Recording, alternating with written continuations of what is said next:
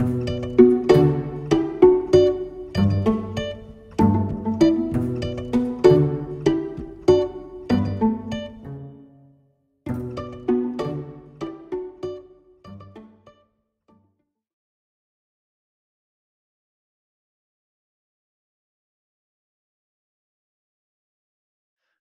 Noi sappiamo che l'agricoltura sociale ha questa particolarità, muove sostanzialmente le stesse risorse, quelle che sono in alto di questa slide, le,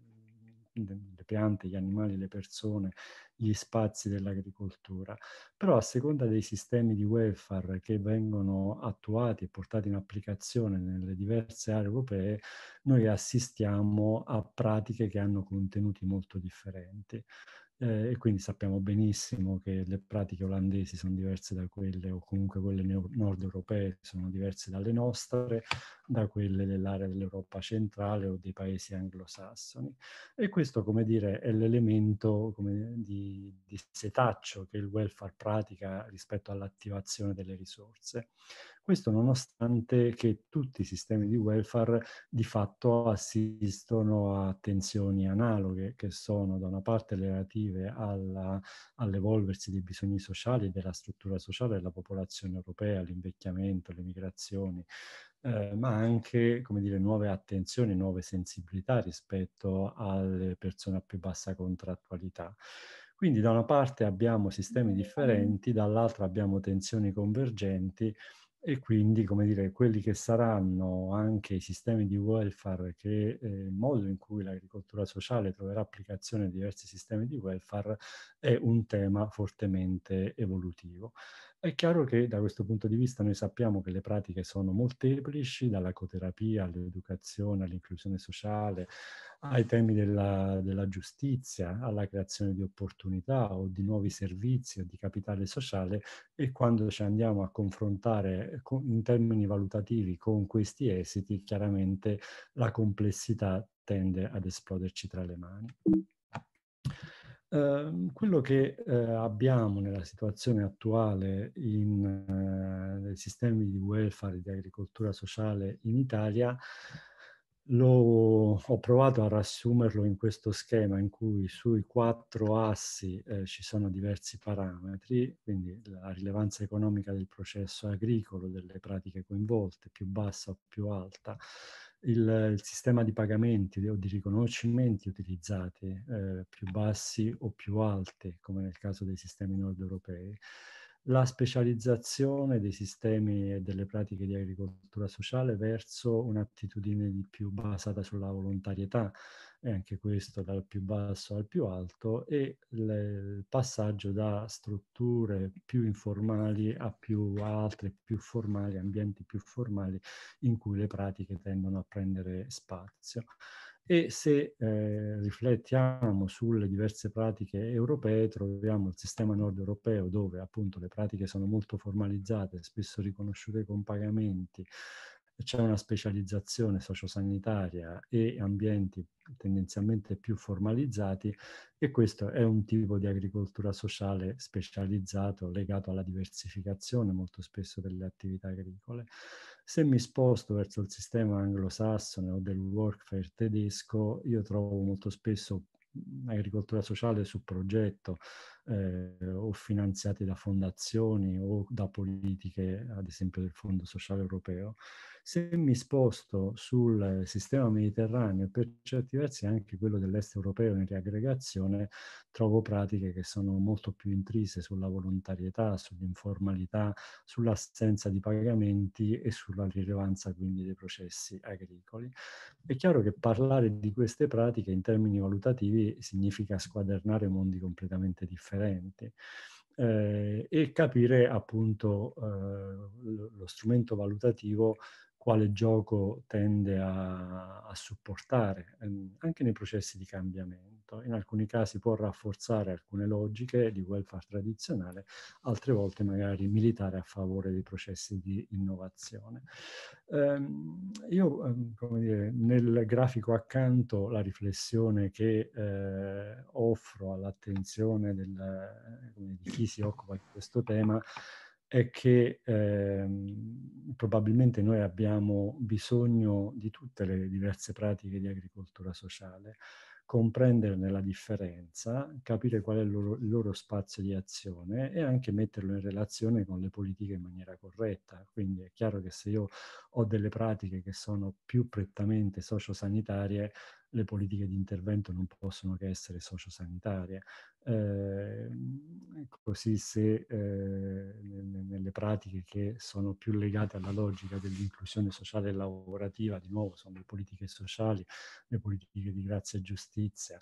o se vado nei sistemi che sono più produttivi, le politiche di sviluppo rurale, allora riuscire a generare una continuità, pur nel, nel campo della distinzione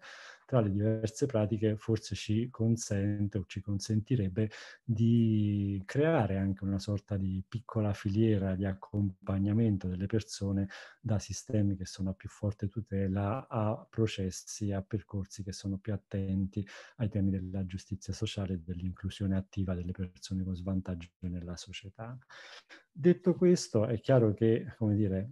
ragionare in termini di valutazione significa eh, come, come, specificavo prima, da una parte interrogarci su quale sistema di welfare stiamo accompagnando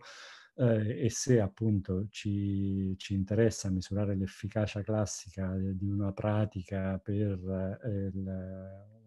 un'azione terapeutica o coterapeutica e quindi concentrare l'attenzione prevalentemente sugli utenti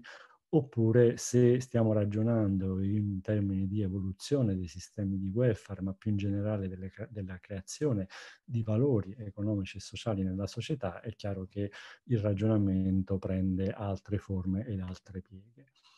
Il ruolo della valutazione è quello classico, da una parte è quello di rendere conto, soprattutto su progetti finanziati, ma anche rendere conto, come dire, ai nostri interlocutori, apprendere, eh, perché con la valutazione si generano apprendimenti, e questo è particolarmente vero in alcune pratiche di agricoltura sociale, ma anche comunicare all'esterno. È evidente che un maggiore interessamento delle politiche, delle diverse politiche sul tema dell'agricoltura sociale trova linfa vitale dalla, dall'emergere di esiti eh, facilmente trasferibili, quindi il tema della comunicazione degli esiti e anche quello di consolidare, consolidare anche le conoscenze oltre che le pratiche, sapendo benissimo che soprattutto in alcuni contesti le pratiche di agricoltura sociale sono multiattoriali e hanno necessità di creare una conoscenza nuova che spesso non esiste in maniera codificata e che viceversa i processi valutativi possono consentire di assicurare. Ci si confronta chiaramente a seconda degli scenari che esaminiamo con complessità diversa anche de, di valutazione degli impatti e nel caso delle, delle pratiche di agricoltura sociale ehm, appunto il riferimento ai presupposti, ai modi in cui le pratiche trovano spazio e verso cui tendono eh, quali sono i principi regolatori e i funzionamenti delle pratiche e dei possibili esiti e quindi anche la possibilità, come prima dicevo, di eh, ragionare in termini di uso degli strumenti di valutazione per facilitare gli stessi percorsi di innovazione e questo ovviamente cambia anche l'attitudine, il ruolo dei valutatori, come cercherò di evidenziare fra breve. Però per intenderci è chiaro che in un sistema di welfare dell'agricoltura sociale, per come è mobilizzata nei sistemi nord europei, le, le, i portatori di pratica eh, vengono in qualche modo riconosciuti all'interno, all'interno del sistema sociosanitario, offrono dei servizi, si rivolgono a dei clienti e il tema della qualità del servizio o dell'efficacia nei confronti dell'utilizzatore è preminente. Eh, nei sistemi italiani questo non, non agisce nella stessa maniera. È chiaro che l'attenzione, come anche in alcune delle relazioni che verranno presentate oggi, è sugli esiti più complessi e molteplici che le pratiche di agricoltura sociale possono generare. E quindi, come dire, il, se ragioniamo in termini di modello di welfare classico a sinistra del vostro schermo, eh, lo Stato e il mercato, quindi il binomio classico, chi produce economicamente, la tassazione, il welfare pubblico, l'agricoltura sociale diventa una pratica di eh, servizio che viene valuta, valutata attraverso le, gli esiti che genera sui partecipanti. Eh, nel caso di ehm, come dire, di pratiche che conosciamo forse meglio nel nostro paese, eh, l'agricoltura sociale diventa anche una forma di economia civile, un'economia per progetto, richiede un ingaggio diverso da parte della comunità, gli esiti sono molteplici e tende a generare modifiche organizzative, di innovazione, di valori procedurali e anche attitudinali dei diversi soggetti coinvolti, quindi il gioco è eh, assolutamente differente. In agricoltura sociale ci sono alcuni, eh, alcune specificità e alcune complessità. Eh, in primo luogo sappiamo che parliamo di servizi assai differenti, anche oggi nelle relazioni si parte dagli anziani e si va verso l'inclusione sociolavorativa, i migranti, quindi è chiaro che valutare, valutare cosa eh, diventa dire, non tanto valutare l'agricoltura sociale in quanto tale, ma valutare gli esiti che le diverse tipologie di pratiche di agricoltura sociale possono generare. E questo chiaramente apre tantissimi capitoli e anche la difficoltà di cumulare una serie di informazioni utili a corroborare, sostanziare gli esiti delle valutazioni. Um, peraltro, come dire, le pratiche prendono spunto in esiti differenti, spesso discontinui nel tempo e anche nel momento in cui si raccolgono dati e si mettono a confronto, spesso all'interno della stessa pratica sorgono difficoltà metodologiche non irrilevanti. Um, le pratiche sono numerose, disperse e differenti nella loro impostazione, nella, loro realizzazione, quindi riuscire ad avere dire, informazioni statisticamente eh, valutabili diventa eh, complesso oltre appunto a seconda del, del cosa vogliamo valutare le, gli esiti multidimensionali, eh, quindi da una parte sia delle politiche che vengono investite sia dei, della, della tipologia di esito da valutare. Eh, da qui, come dire, approcci di tipo più qualitativo o quantitativo nel, negli esercizi valutativi. E poi sicuramente eh, lì dove l'agricoltura sociale si lega a percorsi di innovazione, è chiaro che anche le metodologie di valutazione diventano eh, ben differenti. In particolare in agricoltura sociale sappiamo che oltre ai portatori di progetto, agricoltori o cooperative sociali, eh, abbiamo i partecipanti, gli operatori dei servizi o del mondo del terzo settore, le famiglie, gli stessi cittadini consumatori, oltre che le istituzioni pubbliche e i ricercatori.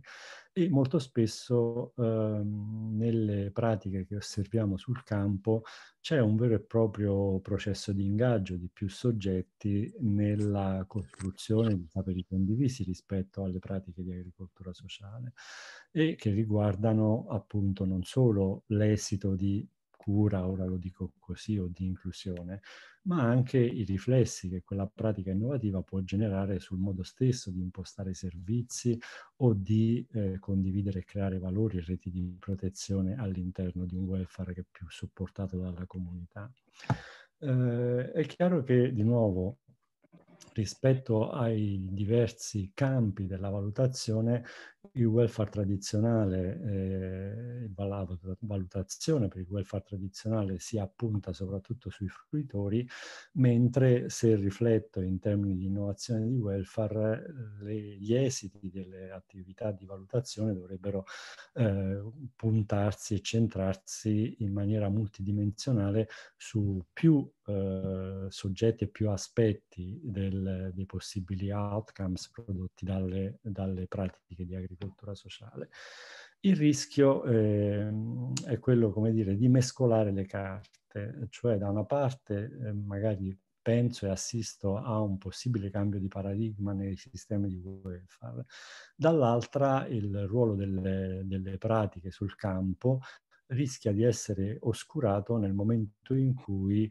applico su pratiche innovative dei sistemi tradizionali di valutazione di impatto, perché questo tende a corroborare il vecchio paradigma, quindi è chiaro che la uh, valutazione genera apprendimenti e questi apprendimenti, per come vengono disegnati, hanno uh, un impatto poi sui percorsi di, eh, di, di evoluzione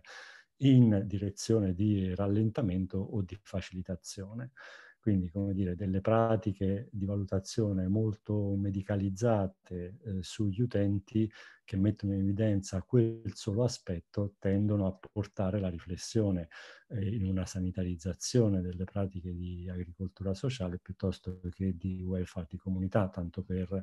fare un esempio. Quindi di questo dobbiamo essere consapevoli nel momento in cui impostiamo disegni valutativi. Ed è chiaro che questo, eh, la, la, la, riflessione precedente si, se, si lega a questa successiva del modo in cui le pratiche di valutazione vengono impostate, nel senso gli attori che sono sul territorio diventano come degli interlocutori a cui presentare esiti fatti dai centri di ricerca, soggetti che eh, dire, coinvolgo per assumere informazioni per una metodologia che poi verrà applicata e restituita, oppure sono pratiche che eh, sono molto embedded nei, nei, territori e che eh, sono il frutto di processi di partecipazione attiva, perché ovviamente a seconda che i ricercatori, i ricercatori si pongano in una logica dell'uno o dell'altro tipo, le stesse metodologie, gli stessi esiti di valutazione sono uh, differenti. In particolare, se vado su logiche di partecipazione, l'identificazione degli attori, la, il codisegno anche del progetto di valutazione degli esiti diventa un elemento essenziale dell'apprendimento e va sotto la, la categorizzazione di quello che è il metodo 2 della ricerca, quella della ricerca partecipante, militante, della ricercazione. Nella eh, organizzazione degli, de, de, degli strumenti valutativi noi tutti ci siamo confrontati da una parte con la scelta delle dimensioni da valutare, ma anche con quella degli elementi all'interno anche delle stesse categorie dei soggetti da prendere in considerazione della definizione degli indicatori e dei descrittori di ciascuno degli elementi, delle dimensioni che andiamo a curare e poi il processo di ranking e di scoring prima di valutazione degli esiti, che poi possono avere un'influenza appunto sul ridisegno sia delle pratiche sia sulla conoscenza delle politiche eh, che le politiche possono avere e di conseguenza anche l'intervento e l'investimento che le politiche vogliono e possono fare a sostegno dei processi di cambiamento nel welfare.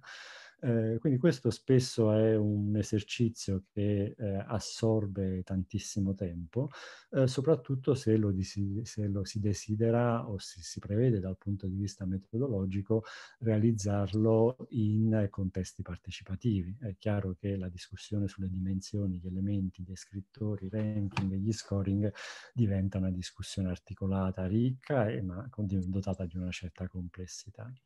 Allora, e eh, vado alla conclusione, eh, l'esercizio di valutazione in agricoltura sociale da una parte eh, ha degli elementi di difficoltà eh, che ricordavo nella diversità, nel, nel, problema di realizzare le comparazioni e accumulare informazioni, anche come dire, nel rispetto delle privacy dei soggetti vulnerabili che sono coinvolti. Da questo punto di vista c'è un innalzamento delle barriere eh, che si pongono di fronte ai ricercatori e che vanno come dire, affrontate nella correttezza metodologica e giuridica. Eh, dall'altra ci sono degli elementi comunque di, di, facilità, la possibilità di impostare processi di circolarità, anche il fatto di confrontarci con soggetti che comunque hanno una volontà di partecipare, impegnarsi, eh, di organizzare le stesse raccolte dati e anche l'apertura al confronto negli stessi ambiti, negli stessi consessi di ricerca, quale è quello di oggi. Allora, oggi abbiamo di fronte a noi più relazioni, ciascuna ha scelto un angolo prospettico eh, dal quale esaminare il proprio campo di osservazione, ma anche un approccio metodologico proprio che forse potremmo iscrivere in quelle in quel sentiero, in, quel, in, quel in, quei campi di possibilità che ho cercato di disegnare. Sarà interessante capirne come dire, sia le impostazioni metodologiche sia gli esiti a cui le singole presentazioni sono pervenuti, in alcuni casi si tratta di esiti intermedi, eh, per poi, come dire, ragionarne, approfondire la discussione nel corso di questa, di questa mattinata. Tanto vi ringrazio per l'attenzione, ringrazio Carla e Roberta per, come dire, per il lavoro mm, che si sono caricati nel condurre le due sessioni di questa, di questa mattinata. Grazie. Grazie Francesco eh, per gli interessantissimi spunti e mi verrebbe da dire proprio linee da seguire nel, nel dibattito che come sessione ci siamo proposte e ci siamo proprio proposti quello di eh, attivare un, un, dialogo, un dibattito proprio sugli strumenti e le metodologie della valutazione nell'ambito dell'agricoltura sociale, proprio tenendo conto di quel contesto che tu molto bene hai delineato del sistema del, di welfare e dell'apporto che l'agricoltura sociale può dare nell'orientare poi il, il, tipo di welfare o comunque eh, quale orientamento dare al, al welfare. E quindi eh, in questo senso ehm, la possibilità di promuovere innovazione sociale è strettamente connessa appunto a quello che eh, è il, la metodologia sia di eh, progettazione e, ma anche quella di valutazione, quindi il appunto codisegno complessivo insomma del, del progetto di agricoltura sociale. E ehm, pensando ai primi tre contributi di questa sessione, direi che ehm, i contenuti di questi contributi, le esperienze che presentano, i progetti, vanno proprio nella direzione di favorire questo dibattito, no? questa complessità di cui eh, si parlava rispetto ai settori, rispetto ai soggetti coinvolti, rispetto anche alle aree interessate, eh, sicuramente fa emergere eh, modalità diverse anche nel, nei percorsi nei processi di valutazione.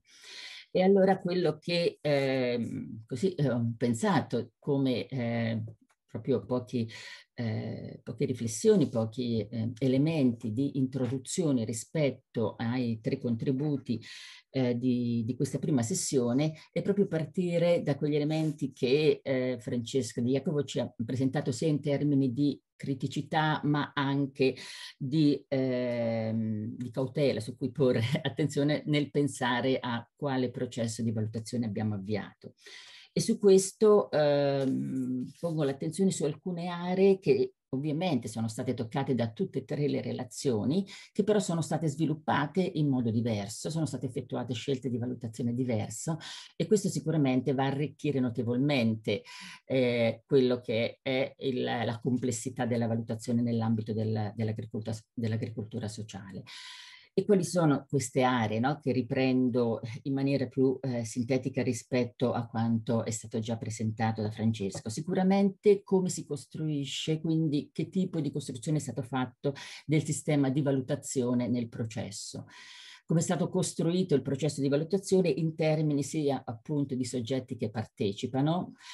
in termini anche di come vengono individuati gli strumenti di valutazione e come la valutazione stessa, il processo di valutazione stessa è parte eh, integrante e ha un ruolo importante proprio in tutto l'intero processo del, della progettazione, realizzazione e verifica del, del progetto. Eh, questo è proprio in quell'ottica di, un, di, una ricerca, di un, um, orientamento, diciamo, metodologico che si avvicina molto a quello che è l'approccio partecipativo, no? E quindi anche come apprendimento poi collettivo di tutti i soggetti che partecipano alla, eh, al codisegno del, del progetto di, ehm, di agricoltura sociale. In questo senso vediamo allora se facciamo riferimento, è solo una nota introduttiva, al primo, al primo contributo, quello che presenterà eh, Chiara Paffarini che è rivolto al, ehm, all'inserimento lavorativo in agricoltura sociale, quindi la valutazione ehm, sarà eh, diciamo affrontata eh, su, su, questo tema, sui soggetti con eh, vulnerabilità, vediamo appunto eh, come il processo di costruzione del disegno di valutazione eh, ehm, è frutto di una concertazione dei diversi soggetti, insomma, che il, il progetto coinvolge e che quindi questo poi ha mh, portato diciamo, anche alla definizione degli strumenti, strumenti che vedremo nel, in tutti e tre i contributi, sono strumenti sia qualitativi che quantitativi, sono la costruzione di schede di valutazione, di interviste o di altri strumenti insomma, che ci consentono di valutare gli esiti. Eh, l'altro, eh, l'altro, contributo, quello che verrà presentato da eh, Fabio De Blasis, che invece riguarda eh, e prende, mh, rivolge l'attenzione alle pratiche di inclusione sociale di migranti, richiedenti asilo e rifugiati, vediamo che eh, si costruirà una, un sistema di valutazione che si fonda più su un, dei criteri già definiti da un'organizzazione internazionale del lavoro, quindi come l'utilizzo di strumenti che possono essere utilizzati no? e già definiti, già validati, poi possono dare degli elementi di analisi e di, eh, di, di valutazione appunto degli esiti del, dell'agricoltura sociale fino ad arrivare appunto al terzo intervento presentato da Cristina Gagliardi che eh, riguarda la valutazione degli esiti del progetto di agricoltura sociale nella regione Marche in cui l'attenzione è rivolta in, nello specifico alla popolazione anziana, quindi un progetto di reggibilità attiva dove eh, diciamo inserito in un contesto sanitario più forte diciamo gli strumenti sia la costruzione del ehm, processo di valutazione sia il coinvolgimento dei soggetti e sia soprattutto la costruzione degli strumenti no, verranno eh, in qualche modo eh, utilizzati o comunque individuati proprio nel, nell'ambito sanitario, quindi vedere quanto appunto degli strumenti eh, utilizzati in questo ambito poi no, mh, possono dare un contributo e possono rispondere a quelle domande iniziali che eh, abbiamo detto di una valutazione complessiva dell'agricoltura sociale orientata e contestualizzata appunto nel, nel sistema di welfare. Bene, io mi fermo qui, eh, direi che possiamo iniziare subito con il primo contributo. Allora, buongiorno a tutti, eh, ringrazio innanzitutto il lavoro insomma, che c'è stato dietro al panel, Roberta e Carla, ma chi ha contribuito ehm, per l'organizzazione di questa mattinata che serve a tutti no, eh, per un confronto eh, come diceva Carla, no? di, di, progetti sia ongoing ma anche no? in, in, questo ambito che come il professor Di Jacopo ha eh, giustamente in modo eccelso eh, esposto, insomma è un ambito uh, che, sta, um, che, sta, lavorando, non ci sono uh, d- certezze assolute, ma è molto molto molto attivo, uh, grazie anche appunto ai contatti insomma che, ehm, che abbiamo all'interno insomma di, del gruppo. Allora, io sono stata chiamata a rappresentare un folto gruppo di donne ehm, per presentarvi questo nostro eh, contributo, un approccio interdisciplinare al tema della valutazione e dell'inserimento lavorativo in agricoltura sociale, come già Carla mh, eh, mi ha eh, anticipato. Folto gruppo di donne appartenenti a tre diversi dipartimenti dell'Università degli Studi di Perugia. Eh, e poi vedremo eh, il perché queste donne insomma si sono incontrate. Eh, quindi mh, mm, eh, partendo appunto da una breve introduzione vi, vi parlerò eh, di, di, questa costruzione del sistema di valutazione che sta toccando tre diverse dimensioni, eh, cioè la dimensione personale, collettiva eh, ed economica, per poi trarre le prime considerazioni. Tutto questo all'interno eh, di un progetto appunto eh, di cui vi accennerò l'entità. Eh, intanto riprendo anche quello che un po' insomma eh, abbiamo un po' toccato, detto, eh, ma mh, secondo me da, da, sottolineare il fatto che se le declinazioni del welfare ehm, erano già presenti pre-pandemia, eh, nuove definizioni e soprattutto le marginalità sociali eh, erano già presenti pre-pandemia, eh, questa eh, non ha fatto altro che ulteriormente aggravare eh, la situazione. E banalmente, ma proprio molto banalmente, soprattutto perché parlo dopo il professor Di Iaco, l'agricoltura sociale si offre come eh, uno strumento terapeutico cioè sia terapeutico sia eh, comunitario, che in qualche modo um, è anche in grado di eh, ricomporre dei disagi eh, economici, offrendo anche eh, sbocchi occupazionali alle categorie eh, svantaggiate. E questa insomma è la, eh, l'ambito eh, a cui noi ci siamo rivolti. Sottolineo, se ce ne fosse bisogno, la mh, mancanza di una visione un po' comune per, e questo vale soprattutto in ambito accademico, superare quella prospettiva culturale eh, operativa mh, eccessivamente settoriale eh, e superarla ver- andando verso eh, un'impostazione o ovviamente una sperimentazione di una metodologia di analisi multidisciplinare che innanzitutto eh, vuole, insomma, no? eh, dovrebbe approfondire eh, i potenziali vantaggi, cioè in termini di risultati ottenibili, in termini di salute, sociali, ma anche come una riprogettazione rurale economica dei territori. Ehm, quindi eh, quello che eh, vi andrò a presentare è un lavoro nato nell'ambito eh, di un gruppo operativo eh, AgriSocial Network eh, finanziato dalla Regione Umbria per mh, il periodo di programmazione 2014-2020 eh, con la misura 1611, cioè l'innovazione, focus area ovviamente la, mh, più attinente all'agricoltura sociale 6A, fanno parte del gruppo 41 soggetti e quindi abbiamo diciamo, raccolto eh, tutta quella che è l'agricoltura sociale eh, Umbra mh, mm, ehm, con la partecipazione di eh, cooperative sociali tipo A, di tipo B, associazioni di produttori, ma anche associazioni di cooperative, ma anche diverse aziende agricole eh, un'azienda agroalimentare, tre enti di ricerca, tra cui l'Università eh, di Pisa, con cui abbiamo il piacere insomma, di, di collaborare, eh, ed Eurixe. Mm, L'UNIPG, che fa, eh, che fa, il coordinatore scientifico, eh, è rappresentato da tre dipartimenti, ai quali appunto appartengono quel folto gruppo di eh, donne che ha scritto appunto questo contributo. Ora, eh, all'interno del gruppo operativo, mh, eh, ovviamente ehm, noi, noi, ci siamo concentrati, come ehm, anticipato eh, Carla, sull'inserimento sociolavorativo. All'interno del gruppo operativo invece eh, lavoriamo, portiamo avanti una sperimentazione ehm, riguardo eh, diciamo, le macro aree individuate e dalla legge nazionale e dalla legge ehm, Regione Umbria. Eh, ci concentriamo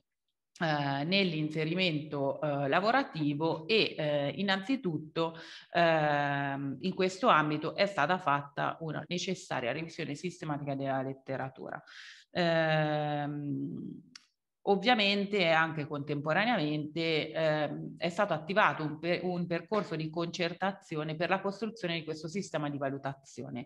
eh, dell'inserimento sociolavorativo in agricoltura, però che si basa su tre dimensioni che eh, sono un po' insomma eh, l'anima eh, dei eh, tre dipartimenti dell'UNIPG mh, che collaborano a questo progetto. La dimensione personale,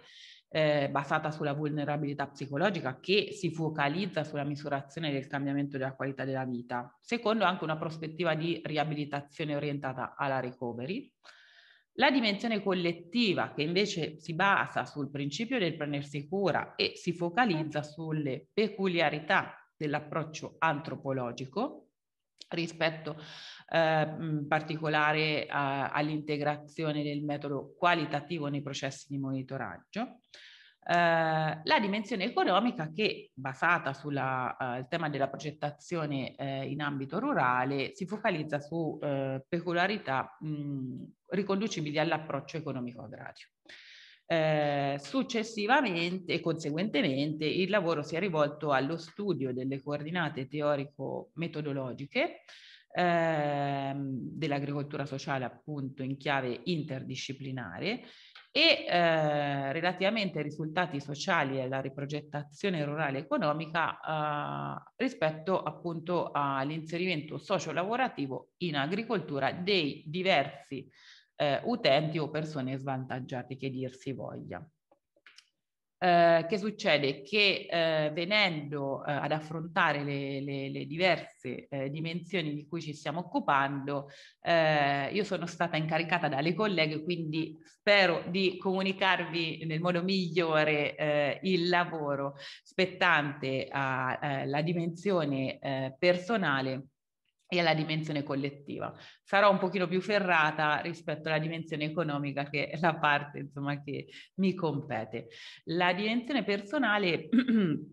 le colleghe eh, si sono poste innanzitutto eh, una domanda. Può quindi l'agricoltura sociale faver, favorire un miglioramento della qualità della vita nelle persone vulnerabili e facilitarne di conseguenza in questo ambito l'inserimento eh, nel tessuto sociale? Allora, eh, con un approccio orientato alla recovery, le, le colleghe intendono eh, comprendere in che misura l'agricoltura sociale promuove sia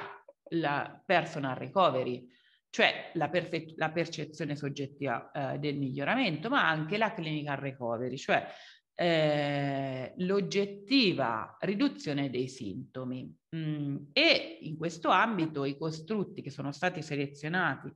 eh, in grado di descrivere il, questo famoso cambiamento della qualità della vita nelle persone eh, coinvolte in questi processi eh, sono stati il benessere, l'autostima, l'autoefficacia, il funzionamento personale, lo stress e la percezione del supporto sociale.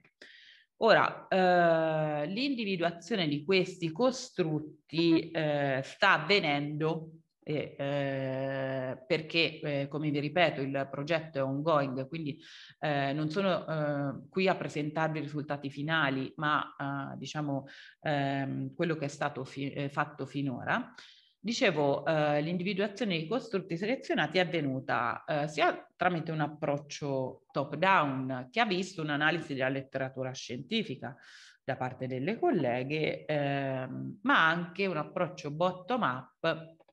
eh, con interviste preliminari a soggetti già operanti eh, nell'ambito dell'agricoltura sociale. Ora, eh, per avere eh, una più ampia conoscenza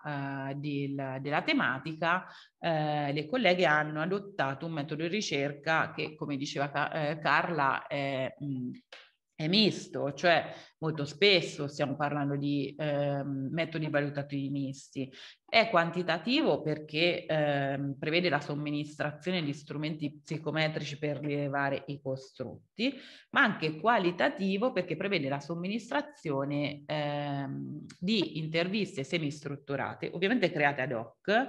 eh, per eh, cercare di, eh, di, riuscire a conoscere direttamente e in chiave narrativa eh, le esperienze personali eh, delle persone coinvolte in questi percorsi di inserimento lavorativo.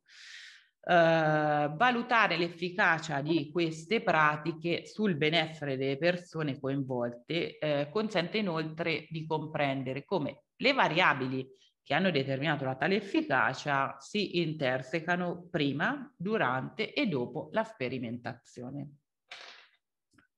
Ora, venendo invece alla dimensione collettiva, eh, cioè eh, affrontando eh, la, la, prospettiva antropologica ehm,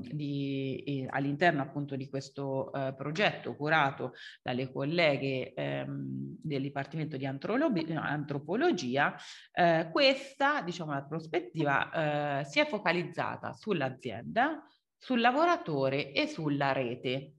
Che vuol dire? Vuol dire che ehm, è stata costruita una scheda di monitoraggio ehm, costituita da una prima parte eh, quantitativa, cioè che comprende eh, l'anagrafica, la tipologia del disagio, insomma i servizi invianti e li, i diversi eh, punti di incontro. Mh, sotto forma di riunioni organizzate all'interno eh, della cooperativa dell'azienda insomma, che ehm, offre questo servizio. Eh, una seconda parte invece è ehm, costituita da una rilevazione qualitativa, cioè ehm, il, la raccolta di informazioni rispetto al passaggio del lavoratore utente da soggetto passivo come ricevente di servizio a soggetto attivo. Ehm, le colleghe si sono anche concentrate nell'attivazione delle risorse di rete, cioè lo scambio di competenze, la socializzazione e l'inclusione, ma anche eh, rispetto al rafforzamento del legame sociale eh, attraverso strategie di inclusione eh, lavorativa. Tale scheda prevede una somministrazione eh, con compilazione eh, insieme all'educatrice o all'educatore, insomma, in azienda, eh, e eh, la presenza appunto del ricercatore che rileva dati quantitativi, eh, c'è ovviamente una somministrazione contestuale eh, dell'intervista e mh, verrà utilizzata eh, la parte qua, eh, qualitativa come temario. Con quali obiettivi? Eh, ovviamente con una eh, riflessione eh, specifica su queste pratiche, eh, anche attraverso eh, un dialogo sulla scrittura, sulla valutazione appunto degli eventi, ma mh, non da ultimo con un confronto su fattori di efficacia e di criticità degli interventi.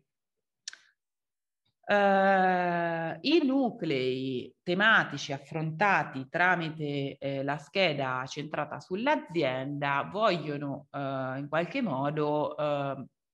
dare ehm, comprendono le pratiche di cura eh, e la rete allargata eh, che appunto l'azienda o la cooperativa insomma di cui fa parte. La scrittura come lo strumento di lavoro e ehm, l'inclusione e il rafforzamento e sottolineare l'inclusione e il rafforzamento del ruolo del terzo settore in questo ambito o perlomeno nell'ambito dell'agricoltura sociale Umbra. Perché eh, vi, vi, ripeto, insomma, al gruppo operativo fanno parte quasi la totalità delle mh, attività eh, sia cooperative agricole eh, ma anche aziende mh, agricole, associazioni e fondazioni, di quasi la totalità uh, dell'agricoltura sociale in Umbria. Ora, eh, passando alla dimensione economica, che come ho detto eh, minimamente un, un, po' meglio vi compete eh, da economista agraria, ehm, questa è stata affrontata, ma necessariamente ehm, aveva bisogno di un'indagine conoscitiva ehm, dei partner appartenenti al progetto, eh, al gruppo operativo. Eh, e quindi è stato costruito eh, anche qui con un approccio multidisciplinare perché ovviamente eh, ha visto il coinvolgimento del comitato tecnico del gruppo operativo a cui fanno parte ehm, eh, il, i, le varie rappresentanze eh, e ovviamente ehm, gli enti di ricerca, dico, con quindi questo approccio che abbiamo chiamato fusione, no? eh, approccio economico-agrario, antropologico, psicologico e della cooperazione sociale, è stato costruito un questionario ad hoc multidisciplinare che è stato sottoposto con interviste via web, visto il periodo, eh, a tutti i rappresentanti eh, dei partner partecipanti eh, ovviamente previa, previo testaggio ehm, e eh, racchiudeva dei quesiti che andavano a indagare la dimensione eh, tecnico-economica e relazionale eh, di queste realtà. Eh, che è venuto fuori da una prima lettura, ovviamente eh, ne verranno eh, successivamente eh, altre eh, nei, nei, prossimi mesi. Da una prima lettura, 10 realtà si occupano di agricoltura sociale, sono miste, cioè cooperative sociali tipo A e tipo B, si occupano, dicevo, di inserimento lavorativo, lo fanno però con modalità diverse, cioè già questo è un primo eh, è, prima, ehm, è, un primo punto insomma da sottolineare, cioè eh, ricor- c'è il ricorso a borse lavoro, salario di primo ingresso, eh, tirocini extracurricolari, indennità di frequenza e eh, così via. Il questionario è stato funzionale alla costruzione successiva di schede eh, di valutazione giornaliere. Con quale scopo? Eh, quello innanzitutto di indagare da un e riprendo quello che ha detto il professor Di Iaco da un punto di vista eh, differente, perché vogliamo ovviamente evitare un eccessivo ricorso a strumenti del campo sociosanitario,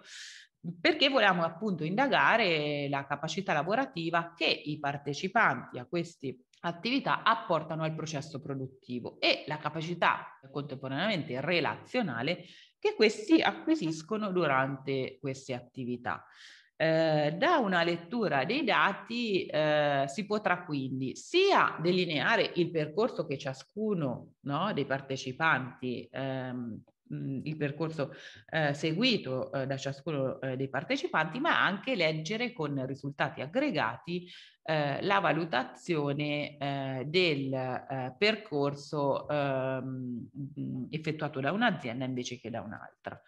La progettazione di queste schede mh, è stata ovviamente anche qui con un approccio multidisciplinare eh, condivisa con i membri del comitato tecnico che ovviamente, come vi ho detto, hanno un diverso background, una diversa formazione e costituiscono i famosi attori con diverse competenze e attitudini. Ovviamente queste schede sono state impostate, discusse e testate eh, sono state adottate due schede giornaliere di valutazione per eh, i partecipanti in funzione de, appunto dei partecipanti e delle, ehm, eh, delle difficoltà che questi eh, hanno, che tipo di svantaggio. Ora, il, lo strumento quindi di queste, eh, cioè queste schede eh, sono basate ovviamente su una letteratura attenta, eh, ma anche su una scheda scientificamente validata eh, utilizzata per un progetto precedente. Ovviamente sono state rimodulate in funzione eh, del progetto mh, di cui ci stiamo occupando ehm, e mh, come vi dicevo sono stati utilizzati all'interno della, delle schede per la valutazione i famosi strumenti agricoli, cioè le piante, gli animali, gli ambienti produttivi che ovviamente rientrano in, uh, sono strumenti fondamentali di, di icoterapia, ma rientrano anche in quei processi eh, produttivi, nei cicli produttivi in questi determinati percorsi di inserimento sociolavorativo vengono utilizzate le scale Likert eh, a cinque passi, ovviamente con scale diverse a seconda ovviamente de, ehm, degli item. Ora, il, mm, come vi ho descritto, le schede appunto sono due in base alla tipologia di utenza che viene coinvolta in questi eh, percorsi di inserimento sociolavorativo. La parte comune prevede, eh, la, eh, oltre che l'anagrafica, la valutazione della comunicazione funzionale, il grado di indipendenza, il comportamento lavorativo, l'attitudine al lavoro e l'integrazione al lavoro agricolo. La scheda dedicata alle persone con un soggetto lieve e sociale ha in più alcune al- altre domande che vanno ad indagare la capacità di adattamento al contesto lavorativo eh, delle persone mh, eh, che partecipano a questi, ehm, a questi percorsi. Ora, eh, ovviamente, come vi ho detto, è un processo eh, ongoing. Ehm, tali schede sono attualmente, cioè eh, al 23 settembre, già state testate ehm, e ehm, vengono utilizzate eh, dalle, mh, da una delle cooperative agricole. Eh, verranno in questa appunto settimana, inizi della prossima, eh, utilizzate, incominciate a utilizzare anche all'interno di tutte le altre realtà realtà che si occupano di inserimento eh, lavorativo appartenenti al gruppo operativo. Ora, prime considerazioni, ovviamente, insomma, ehm, la, questa uh, rilevazione, cioè questo, questa parte del gruppo operativo eh, ha come obiettivo finale la rilevazione qualitativa e quantitativa attraverso quelle schede di cui vi ho parlato ehm,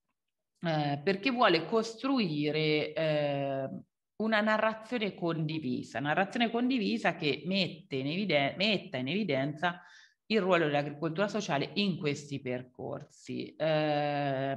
ancora ci stiamo facendo delle domande, cioè eh, questi inserimenti lavorativi attivati in agricoltura sociale possono affrancare dall'istituzione psichiatrica? Cioè possono favorire questo uh, affrancamento uh, non totale, ma uh, mh, compiere dei passi verso l'affrancamento.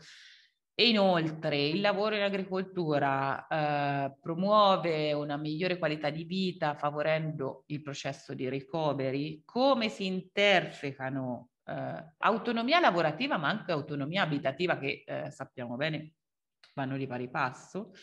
In ultima analisi, insomma, eh, ci chiediamo, mh, l'agricoltura sociale può favorire percorsi di uscita dalla presa in carico istituzionale e favorire un reinserimento eh, non solo lavorativo ma anche quindi e di conseguenzialmente sociale nella comunità di vita.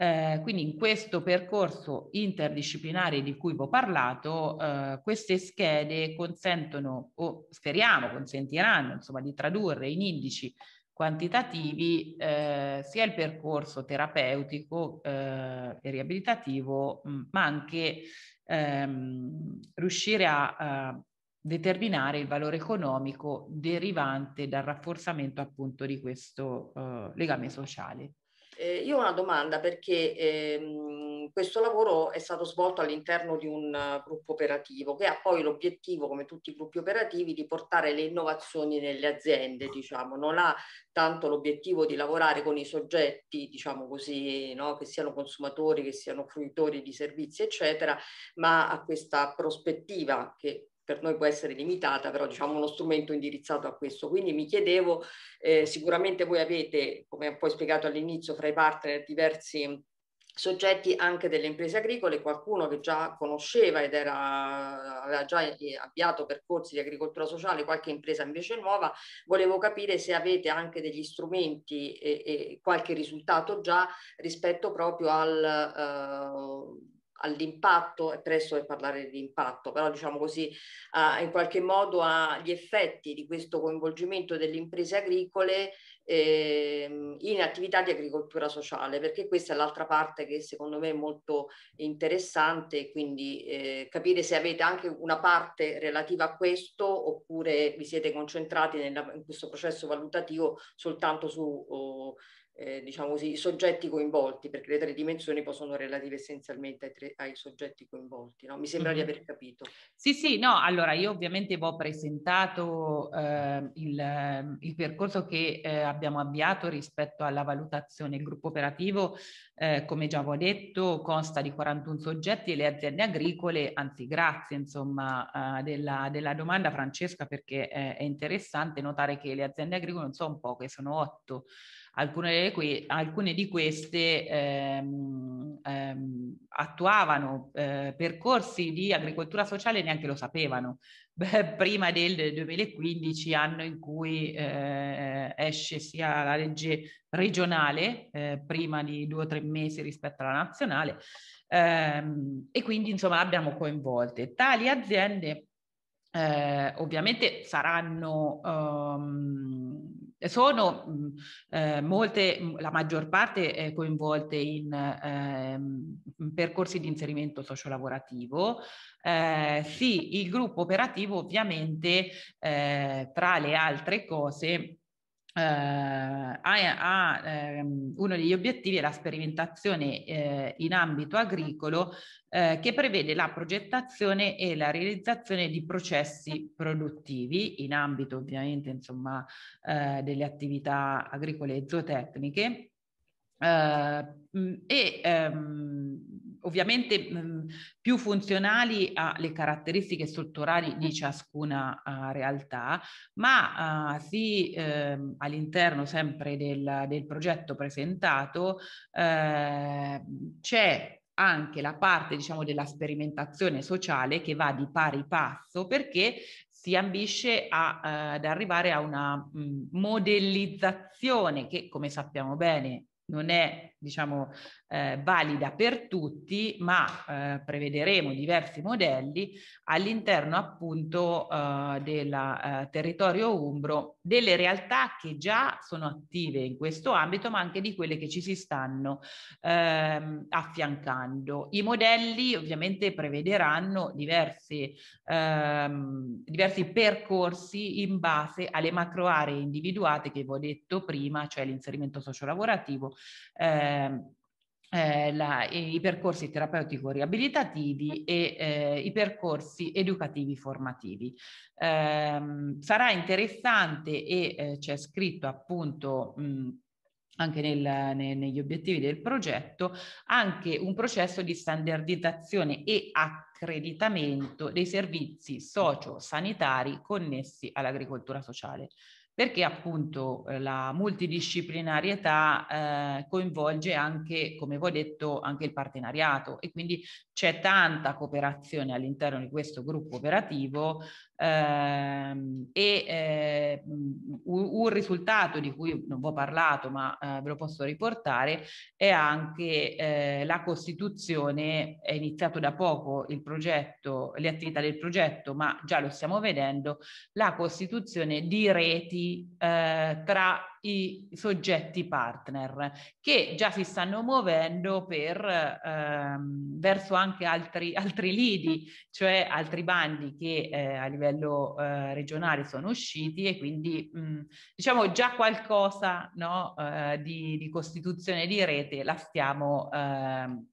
notando. Non so se ti ho risposto Francesca perché poi sì, insomma, inizio a parlare eh, e non mi fermo grazie, più. Grazie, Bene, grazie. Grazie Francesca. Non so se ci sono altre domande.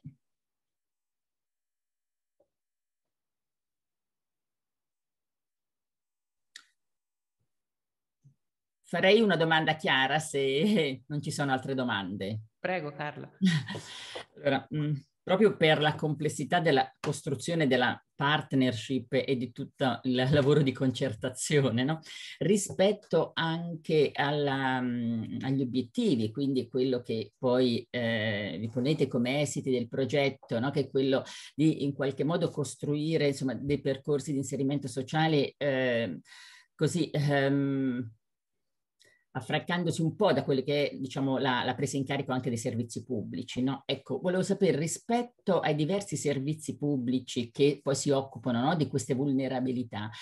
eh, che tipo di, eh, so, di, rapporto, di che tipo di eh, accordi, insomma, ecco, come si sono e se si sono inseriti un po' in questo progetto, perché secondo me questo è un altro punto importante quando no, poi si tocca lo sviluppo no, di ulteriori percorsi rispetto a quello che è no, il, poi il sistema di servizi che ogni regione, ogni territorio ha. Assolutamente, assolutamente. Eh, allora, mh, avendo seguito, cioè è quasi fi- figlio nostro, no? Anzi, no, quasi, no. è figlio nostro il gruppo operativo, quindi insomma, eh, già dall'inizio eh, c'è stato un, un, cercare di coinvolgere eh, gli enti preposti. Eh, questi non eh, sono all'interno del, del gruppo operativo, ma non perché non interessati, anzi, eh, ma mh, non, non, sono entrati a far parte del gruppo operativo anche in convenzione, solo mm. e semplicemente per, mh, non, so in, uh, un, non so nelle altre regioni, le vostre regioni, ma penso insomma sia un, uh, purtroppo un difetto comune italiano, per l'eccessiva uh, lungaggine burocratica che prevede una qualsiasi forma di eh, connessione, ehm, convenzione, eccetera, eccetera, con eh, i progetti. Non, ovviamente la presenza massiccia, come ho descritto, insomma, di eh, soggetti della cooperazione, ma anche molto molto grandi che offrono servizi eh, in tutta l'Umbria eh, e alcuni anche fuori Umbria, va da sé che eh, diciamo no, la connessione sia con i servizi del, del territorio deputati sia eh, quasi indiretta costante ma indiretta. Mm. Perché? Perché non figurano ma sono presenti eh, e soprattutto mh, nelle aree in cui, eh, cioè nei pa- eh, all'interno dei partner in cui già c'erano percorsi di agricoltura sociale, eh, la connessione con il servizio pubblico è ben conscia, ben conscia di queste attività che eh, molto spesso sono iniziate da diversi anni, molto prima eh, che il gruppo operativo fosse eh, approvato.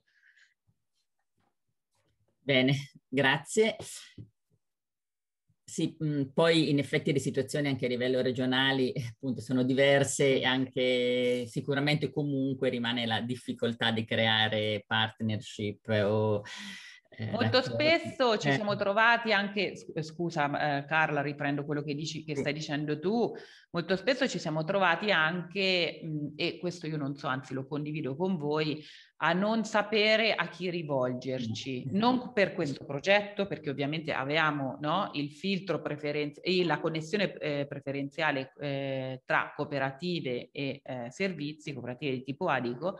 eh, soprattutto, eh, ma in altre progettualità eh, ci siamo trovati di fronte alla domanda chi chiamiamo, a chi ci rivolgiamo, perché mm. molto spesso, o perlomeno in Regione Umbria così, eh, molto fa il singolo, molto fa la volontà del singolo ehm, responsabile, amministratore, eh, che con propria ovviamente sensibilità porta avanti la, la tematica.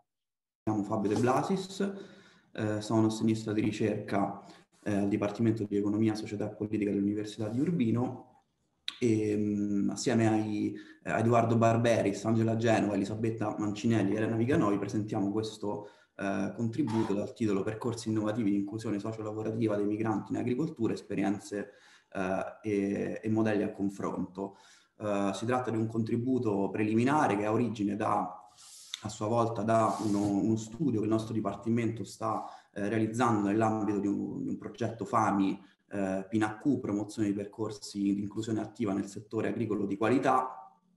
eh, un progetto implementato da una rete eh, multisettoriale composta da mh, cooperative sociali impegnati sul fronte dell'accoglienza eh, di migranti, enti di formazione professionale, eh, associazioni di categoria del settore agricolo, eh, istituti di ricerca e università, tra cui appunto il nostro dipartimento che si sta eh, occupando di realizzare una ricercazione che ha tra gli obiettivi eh, principali quello di eh, individuare e analizzare buone pratiche di eh, inclusione sociolavorativa di migranti, eh, richiedenti asilo e titolari di protezione internazionale nel settore agroalimentare, per, prestando particolare attenzione a sistemi sostenibili dal punto di vista ambientale e sociale con eh, il fine ultimo di eh, fornire degli elementi utili eh, agli stakeholders del settore agricolo e dell'accoglienza che possono contribuire allo sviluppo di eh, interventi, iniziative organici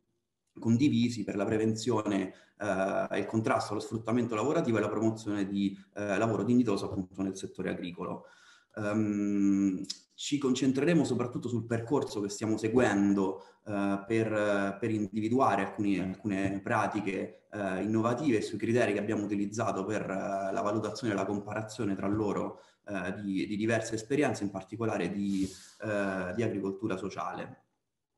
Um, dal punto di vista eh, metodologico abbiamo uh, proceduto inizialmente con una mappatura di potenziali buone pratiche a livello nazionale utilizzando soprattutto lo strumento scheda, di, una scheda di rilevazione che è stata eh, da noi elaborata, in seguito sotto, somministrata a eh, diverse tipologie di eh, soggetti promotori iniziative a sostegno dell'inclusione sociolavorativa di migranti, ehm, soggetti che sono stati a loro volta eh, identificati e raggiunti o attraverso le reti eh, dei partner di progetto, soprattutto per quanto riguarda le cinque regioni eh, focus dell'intervento del centro-nord, che sono Lombardia, Friuli Venezia Giulia, eh, Marche, Umbria e Lazio, oppure sono stati eh, identificati tramite eh, ricerca desk e, e, raggiunti attraverso un, un contatto diretto tramite email. Um, questa scheda è stata utilizzata inizialmente per raccogliere le informazioni preliminari eh, sulla tipologia dei soggetti promotori, la composizione dei partenariati, eh, la tipologia dei beneficiari, le attività, i principali eh, risultati raggiunti, eh, informazioni che sono servite a eh, sia a mettere a fuoco eh, gli elementi da approfondire nella fase successiva della ricerca tramite eh, interviste qualitative semistrutturate, sia a individuare quelle, mh, quelle, esperienze potenzialmente più rilevanti ai fini degli obiettivi del, del, del, del progetto PINAQ e dello studio che stiamo, che stiamo realizzando. Eh, in, questa, in, questa, prima fase quindi abbiamo eh, siamo arrivati a identificare 82 eh, potenziali buone pratiche distribuite in 15 eh, regioni italiane che vedono come enti promotori principalmente associazioni, OLLUS, aziende cooperative agricole, cooperative sociali e cooperative agricoli sociali. si tratta di esperienze nella maggior parte dei casi multiattore, eh, che hanno portato alla realizzazione di interventi anche mh, piuttosto eterogenei che vanno da eh, percorsi formativi attivati eh, principalmente nell'ambito dei progetti di accoglienza, ex SPRAR, eh, oggi SAI, che eh, si realizzano attraverso corsi di formazione eh, agricola a cui segue un tirocinio formativo a, coinvolgendo spesso le realtà territoriali legate appunto al mondo dell'agricoltura sociale eh, abbiamo individuato dei programmi o servizi per l'orientamento al lavoro e il matching eh, della domanda e dell'offerta di manodopera eh, agricola, incluse eh, iniziative che hanno portato ad esempio alla creazione di contratti di rete eh, territoriale per la condivisione di manodopera agricola eh, tra imprese selezionate sulla base di criteri etici, esperienze di inserimenti lavorativi presso realtà del, del, dell'agricoltura sociale, ma anche eh, esperienze più di mercato legate eh, magari a imprese più, più convenzionali, esperienze di eh, produttive, cooperative o di autoimprenditorialità eh, migrante nel settore agricolo fino a eh, iniziative che hanno portato alla costituzione di eh, alternative networks o, o filiere etiche nate soprattutto nel, nel, sud Italia dall'iniziativa di eh, movimenti contadini o lavoratori migranti con eh, l'obiettivo esplicito di contrastare lo, lo sfruttamento del lavora, eh, lavorativo e il caporalato, eh, promuovendo modelli alternativi di, eh, di produzione di, di, lavoro e di consumo. Um, nel complesso circa la metà di queste, di queste pratiche mappate può essere ricondotta eh, direttamente o, eh, o, indirettamente a esperienze di, di agricoltura sociale che quindi ehm, diciamo, si conferma sempre più rilevante nei percorsi di eh, inclusione sociolavorativa dei migranti eh, inseriti o in uscita dal sistema d'accoglienza, ma anche eh, nei percorsi di reinserimento delle, delle vittime di sfruttamento lavorativo. In una eh, seconda fase della ricerca, a partire quindi da questa mappatura, abbiamo eh, proceduto ad approfondire eh, i casi più rilevanti diciamo, per gli obiettivi del nostro progetto. Eh, per questo contributo ci siamo focalizzati eh, esclusivamente su pratiche di, eh, di, agricoltura sociale, ne abbiamo selezionati 20 ehm, sulla base della rilevanza, della tipologia dell'attività, abbiamo cercato di eh, includere diciamo, nel campione esperienze che coinvolgono in misura significativa eh, beneficiari migranti, non tanto in numero assoluto quanto eh, rispetto al totale di beneficiari magari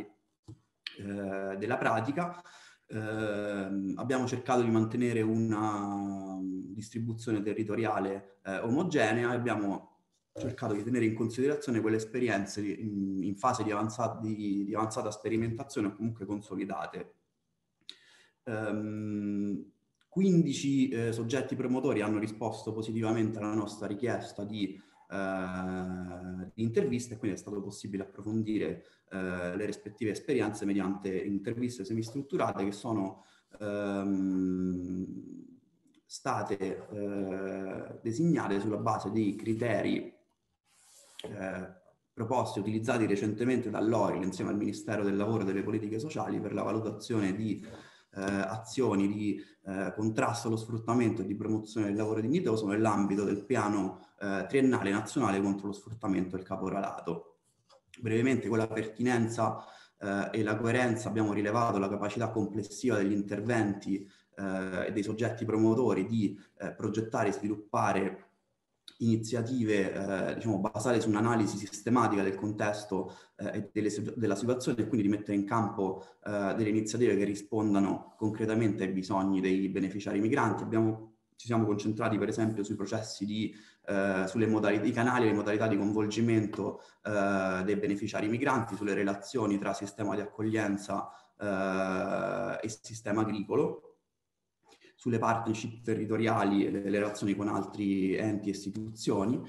Um, con l'efficacia e l'impatto siamo andati a valutare, eh, abbiamo provato quantomeno a valutare la capacità di eh, raggiungere gli, gli, obiettivi preposti, i risultati attesi, di generare eh, quindi cambiamenti positivi per quanto riguarda l'inclusione sociolavorativa dei migranti di medio-lungo periodo. Qui eh, abbiamo cercato di verificare l'esistenza di valutazione di impatto, di sistemi di monitoraggio eh, ex post eh, delle pratiche per cercare di comprendere ad esempio gli esiti dei percorsi formativi eh, anche in relazione alla situazione occupazionale successiva rispetto alla, eh, alla fruizione e all'erogazione dei servizi in altri casi si è cercato di eh, comprendere la, l, diciamo, le, le, gli effetti della, della, dell'iniziativa avviata sul, sulle condizioni lavorative, sulle condizioni abitative. Con eh, l'efficienza abbiamo, eh,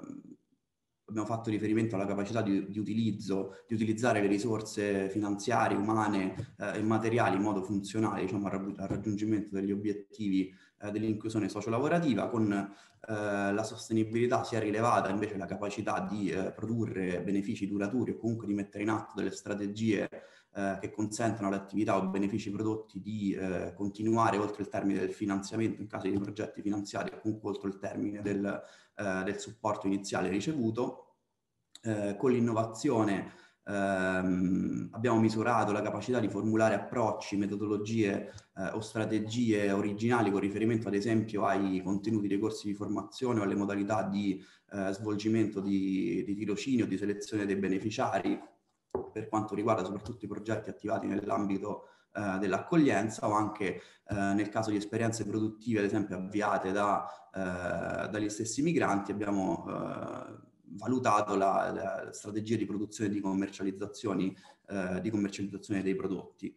Um, con la replicabilità infine abbiamo fatto riferimento quindi alla capacità di, eh, della pratica di, o di, di, alcuni aspetti di essa di essere trasferita e adattata eh, ad altri settori, ad altri territori o anche eh, verso altre tipologie di, eh, di beneficiari. In questo modo siamo arrivati ad identificare per il momento ehm, quattro esperienze che più rispondono ai criteri di buona pratica proposti eh, dall'OIL. Si tratta di, una, eh, di, un progetto formativo di apicoltura sociale rivolto a richiedenti asilo e rifugiati che vede come eh, ente promotore un'associazione di promozione sociale impegnata nell'accoglienza di migranti nella provincia di, di Alessandria, eh, un progetto che coinvolge le associazioni di categoria del settore apistico, sia regionali eh, sia nazionali, e l'organizzazione di accoglienza e che si realizza eh, attraverso un corso di formazione professionale pratico teorico intensivo a cui eh, segue l'attivazione di un tirocinio formativo presso eh, aziende apistiche eh, dislocate su tutto il territorio italiano che vengono selezionate da, dall'associazione sulla base di, eh, di criteri etici. Nel secondo caso eh, si tratta di una cooperativa agricola sociale campana che eh, promuove anche qui percorsi di inserimento sociolavorativo principalmente per rifugiati e richiedenti asilo eh, attraverso la formazione professionale nel settore dell'olivicoltura principalmente, ma anche della, della frutticoltura e dell'apicoltura, ehm, attivando tirocini in questo caso sia presso la, la, stessa azienda, la stessa cooperativa agricola, sia presso eh, imprese partner grazie alla rete eh, di imprese dell'agricoltura sociale che è stata creata da, dalla cooperativa in collaborazione con enti di categoria, in questo caso regionali. Um, brevemente da queste prime due esperienze, per certi versi simili, sono eh, emersi alcuni elementi eh, che possono essere valorizzati nella costruzione di percorsi di inclusione, eh, soprattutto nell'ambito dei progetti di eh, accoglienza, che probabilmente possono essere anche utili alla fine costruzio- della costruzione di indicatori eh, specifici diciamo, per la, per, la, valutazione di progetti di agricoltura sociale in questo, eh, in questo ambito, che riguardano ad esempio ehm, li, li, i contenuti dei corsi di formazione che spesso includono, che in, in entrambi i casi includono ad esempio moduli settoriali eh, sul lessico eh, agricolo, sui diritti e doveri dei lavoratori, sull'orientamento eh, ai servizi,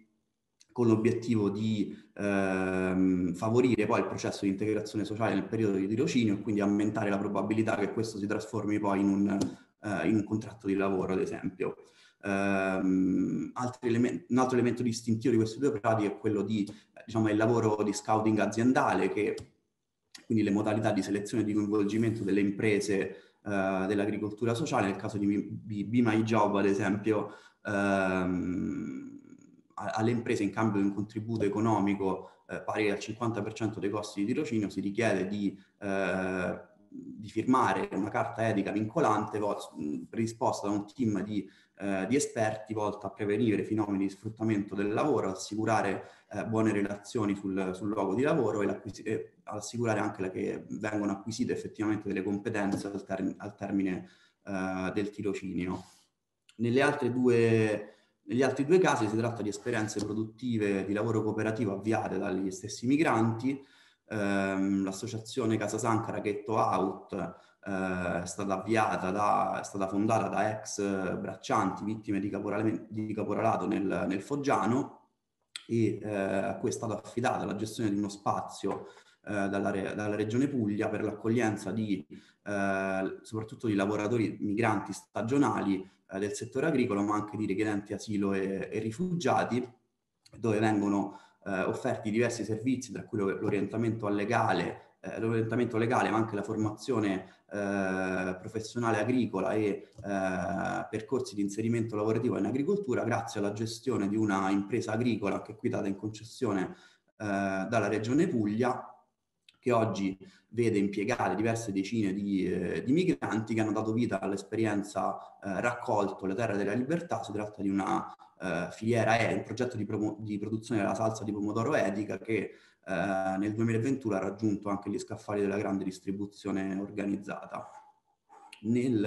eh, anche nel quarto caso si tratta di un'esperienza produttiva eh, ideata e avviata da sette migranti africani, anche qui ex braccianti eh, che risiedevano in questo caso negli insediamenti informa- informali di Rosarno, eh, prima di giungere nella, a Roma, dove grazie al supporto di reti informali anche della società civile e un finanziamento della Regione Lazio, eh, è stata avviata un'esperienza di eh, produzione e commercializzazione di yogurt biologico, ehm, progetto che in pochi anni ha conquistato una nicchia importante all'interno dei eh, mercati contadini e dei gas eh, della provincia romana, raggiungendo eh, sia una sostenibilità economica,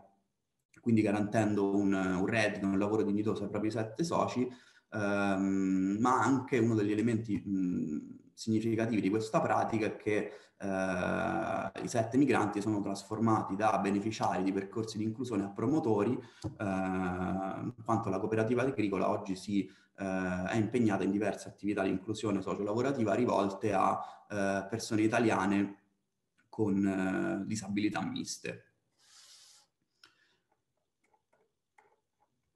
In una eh, fase successiva, quindi procederemo sia a un ulteriore approfondimento dei casi, dei casi mappati, sia cercando di, includendo nella platea degli interlocutori anche i partner delle pratiche, oltre ai soggetti eh, promotori,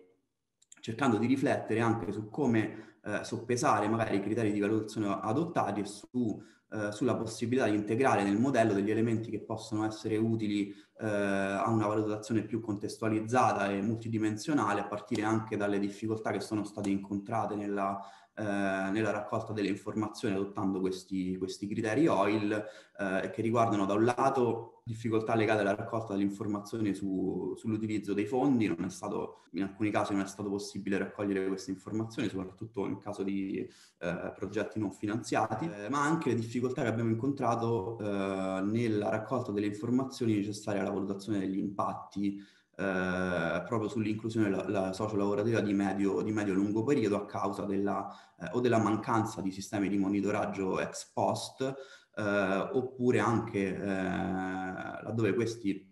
sono presenti nella difficoltà da parte degli enti gestori eh, nei processi valutativi ex post di seguire proprio i percorsi della, de, dei beneficiari migranti a causa proprio della mobilità eh, Ehm, soprattutto per quanto riguarda le persone inserite nel sistema d'accoglienza, la cui presenza sui territori è eh, diciamo, vincolata agli esiti, eh, agli, di, eh, all'iter di richiesta asilo. Um, da, da, questa prima, da, questa prima, fase sicuramente sta emergendo la eh, necessità di, ehm, mettere a, mettere a, punto degli strumenti di valutazione in relazione all'agricoltura sociale specifici eh, che siano in grado di tenere in considerazione i bisogni specifici della popolazione migrante che oggi eh, probabilmente ancora non, non siamo diciamo, in grado di, eh, di, individuare degli strumenti condivisi applicabili appunto a questa tipologia di, eh, di utenza. Um, lascerei magari la parola a Angela Genova. Se... Partendo dal lavoro fatto, proporrei una riflessione, quindi una meta-riflessione sui processi di valutazione a partire dall'esperienza che abbiamo eh, realizzato noi in questo progetto. Mi sembra che, ehm, allacciandomi a qualcosa che abbiamo già ampiamente condiviso, il tema della complessità della valutazione è, è evidente e mh, mi chiedevo se la lettura classica uh, della sociologia sulle tre dimensioni macro, meso e micro possa venirci incontro per cercare un po' di dipanare la complessità del tema. Nell'esperienza che abbiamo fatto mi sembra che uh, abbiamo lavorato a un livello macro proprio nell'applicazione di quelle categorie valutative identificate dall'OIL nella selezione delle buone pratiche, proprio nella logica di andare a vedere in che maniera la politica e quindi le scelte a livello nazionale um, hanno poi, um, sono state effettivamente implementate. Quindi mi sembra che ci sia un livello macro oh, di valutazione che um, si riallaccia al quadro regolativo di policy previsto dall'OIL, mi sembra che ci sia un livello meso che vada invece a guardare le attività delle singole ehm, attive, esperienze, quindi delle singole aziende agricole, e poi ci sia un livello micro che vada invece ad analizzare il punto di vista degli attori coinvolti e nel nostro caso specifico delle persone migranti. Mi sembra che um, il processo di valutazione e le riflessioni sul sistema di valutazione, partendo nostro, dal nostro caso di ricerca, uh, possano uh, arricchirsi mettendo in evidenza quanto nel nostro caso quello che è sicuramente necessario fare, come Fabio diceva, è un approfondimento a livello meso, coinvolgendo i diversi stakeholder nei, nelle singole esperienze delle aziende agricole, ma credo che la sfida più grande, ed è quella che sinceramente a me mh, interessa di più, in particolar modo sul versante dei migranti, in particolar modo nella fase proprio di accoglienza dei migranti, è il livello micro, per eh, ascoltare il loro punto di vista rispetto a questa offerta che viene fatta di accoglienza in agricoltura sociale, quanto questa è in sintonia con le loro effettive aspettative uh, nell'arrivo e nell'essere appunto accolti uh, in Italia. Quindi mh, mm, ecco, chiudo dicendo che nel nostro caso sul livello macro siamo a buon punto, sul livello meso magari identificheremo alcune aziende sulle quali fare un approfondimento, ma sicuramente eh, andare a sentire la voce dei protagonisti dei percorsi di inclusione è, è secondo me eh, indispensabile. Grazie. Grazie Angela. Eh, considerando i tempi, io procederei così, insomma, eh, abbiamo anche la seconda parte della sessione, quindi alcuni temi poi li possiamo riprendere eh, anche in merito a questo intervento, eh, che eh, è un grande tema, quello appunto del, dell'immigrazione e delle opportunità dell'agricoltura sociale, ma anche dei ehm, sistemi di valutazione, no? che eh, appunto, come diceva Angela, sicuramente tocca più livelli, ma che va anche a um, dover um, qualche modo includere, secondo me, no, anche poi quello che è un, un'analisi più complessiva del territorio dei sistemi di servizi, no? che, che, è fondamentale poi per l'impatto. Mm, può uh, presentare il proprio contributo Cristina Gagliardi. È un progetto, come vedete, finanziato con il PSR 2014-2020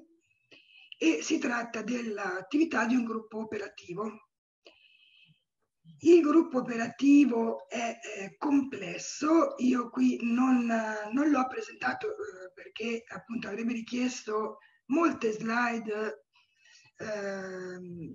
che mi avrebbero poi portato a non potervi invece eh, spiegare come abbiamo proceduto con la valutazione. Si tratta di eh, un gruppo che comprende aziende agricole che si occupano di agrinido, e aziende agricole che si occupano di eh, longevità attiva. Noi qui parleremo solo della longevità attiva, in quanto appunto io sono una ricercatrice dell'IRCA che appunto è l'Istituto Nazionale per lo, per lo Studio, la ricerca e la salute sull'invecchiamento con sede ad Ancona. Eh, altri partecipanti a questo gruppo operativo sono, oltre alle sette aziende agricole, abbiamo l'ASSAM, che è l'Agenzia di Servizi del settore agroalimentare della Regione Marche, abbiamo ORT, che è uno spin-off dell'Università eh, di Agraria di Ancona, abbiamo iCare, che è l'Agenzia Nazionale per la eh, Campagna e l'Agricoltura Sociale eh, Responsabile ed Etica. Tutte queste informazioni potrete approfondirle appunto anche solo consultando la pagina Facebook. Per finire con questa prima slide, vedete il nostro gruppo di lavoro interno all'IRCA, sono eh, ricercatori con diversi eh, profili eh, che hanno contribuito alla creazione del protocollo che vi andrò ad illustrare. Ehm, brevemente, ehm, è un progetto di innovazione riferito alle aree rurali. Nel nostro caso, eh, per la sezione longevità attiva, noi eh, vogliamo applicare, abbiamo voluto applicare un modello che è già stato elaborato in un precedente, una precedente esperienza ed è stato anche ehm, eh, abbiamo sperimentato e poi la Regione Marche ha accolto in una sua eh, delibera regionale, anch'essa consultabile sul, sul loro sito. E che cosa eh, prevede questo laboratorio? La realizzazione di laboratori per la longevità attiva, giardini sensoriali, esperienze di co-housing per persone anziane nelle aziende agricole.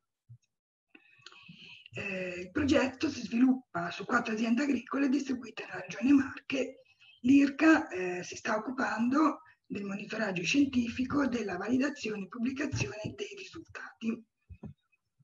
Eh, chiaramente da cosa partiamo? C'è un paradigma teorico eh, di riferimento che è quello appunto della longevità attiva, quindi eh, la promozione di una visione positiva dell'invecchiamento e attraverso l'esperienza in aziende agricole noi eh, spingiamo eh, questo paradigma eh, cercando di rendere l'anziano una persona attiva nella società, scoprire nuovi valori di vita, dare un senso al tempo, condividere esperienze con altre persone, imparare cose nuove, prendersi cura della salute. Uh, quindi um, brevemente, eh, il progetto si pone l'obiettivo di sviluppare servizi innovativi per gli anziani, favorire iniziative a sostegno dell'invecchiamento attivo con la prevenzione dell'isolamento sociale, della non autosufficienza e facilitare l'approccio con attività fisiche adattate agli anziani. Vogliamo quindi più in particolare eh, promuovere percorsi di sostegno al benessere fisico in ambiente naturale, sostenere l'adozione di vita sani, con particolare attenzione ad alimentazione e attività fisica, attivare laboratori per la mente finalizzati al mantenimento delle capacità cognitive, costituire una rete amicale stabile tra i partecipanti, favorire lo scambio attivo tra le generazioni e attività di animazione sociale. Eh, volevo eh, precisare appunto che, eh, ehm, cioè, o perlomeno sottolineare come eh, in tutte queste attività noi eh, non abbiamo mai perso di vista ehm, le peculiarità dell'ambiente agricolo, eh, della natura dell'azienda agricola. Quindi ecco, non si tratta di un percorso sanitario assolutamente, anche se il nostro istituto è eh, principalmente un istituto di ricerca a carattere sanitario, ma il nostro centro è, è un centro di studi socio-economici. Personalmente io sono una sociologa, quindi eh, ci muoviamo nel campo della prevenzione.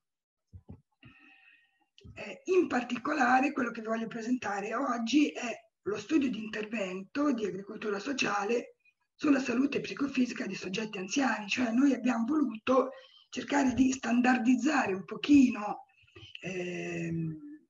l'attività di valutazione degli esiti eh, sui partecipanti per eh, riuscire ad ottenere nella complessità dell'agricoltura sociale in azienda agricola, eh, che voi, eh, a cui avete già accennato, cercare in questa complessità di ottenere un percorso che ci consenta di fare delle valutazioni standardizzate, di ottenere dei risultati eh, che possano essere poi validati anche dalla comunità scientifica. Questo naturalmente nell'ottica di dare un aiuto in più all'agricoltura sociale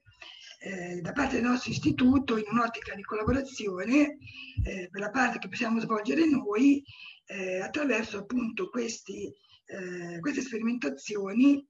attraverso degli strumenti validati. Quindi noi abbiamo un'ipotesi principale ed è che eh, attività svolte in azienda agricola, che poi vi descriverò, portino a un aumento dell'autoefficacia a seguito di questo programma che noi consideriamo un intervento. Ipotizziamo poi un aumento dell'inclusione sociale e un miglioramento delle variabili psicofisiche. Il progetto in generale ha la durata di tre anni. Le aziende che eh, hanno partecipato, che stanno partecipando, eh, erano originariamente quattro, quelle che vedete, però eh, la quercia della memoria di San Ginesio, per motivi legati sia all'evento sismico mm, del 2016 sia alla pandemia, non è riuscita a, eh, ad attivare questa parte del progetto per motivi eh, proprio logistici, avendo eh, questo paese subito degli enormi danni. Cosa, eh, cosa ehm, la prima cosa da, eh, da mh, mm, diciamo, ehm, circoscrivere e da eh, eh, rendere diciamo, standardizzata in termini scientifici è stata la popolazione dello studio. Naturalmente noi non abbiamo posto nessun tipo di limite alla partecipazione degli anziani alle attività nelle aziende. Abbiamo però cercato di modellizzare eh, la procedura per cui eh, abbiamo previsto un arruolamento di 60 anziani nelle tre aziende attualmente eh, al lavoro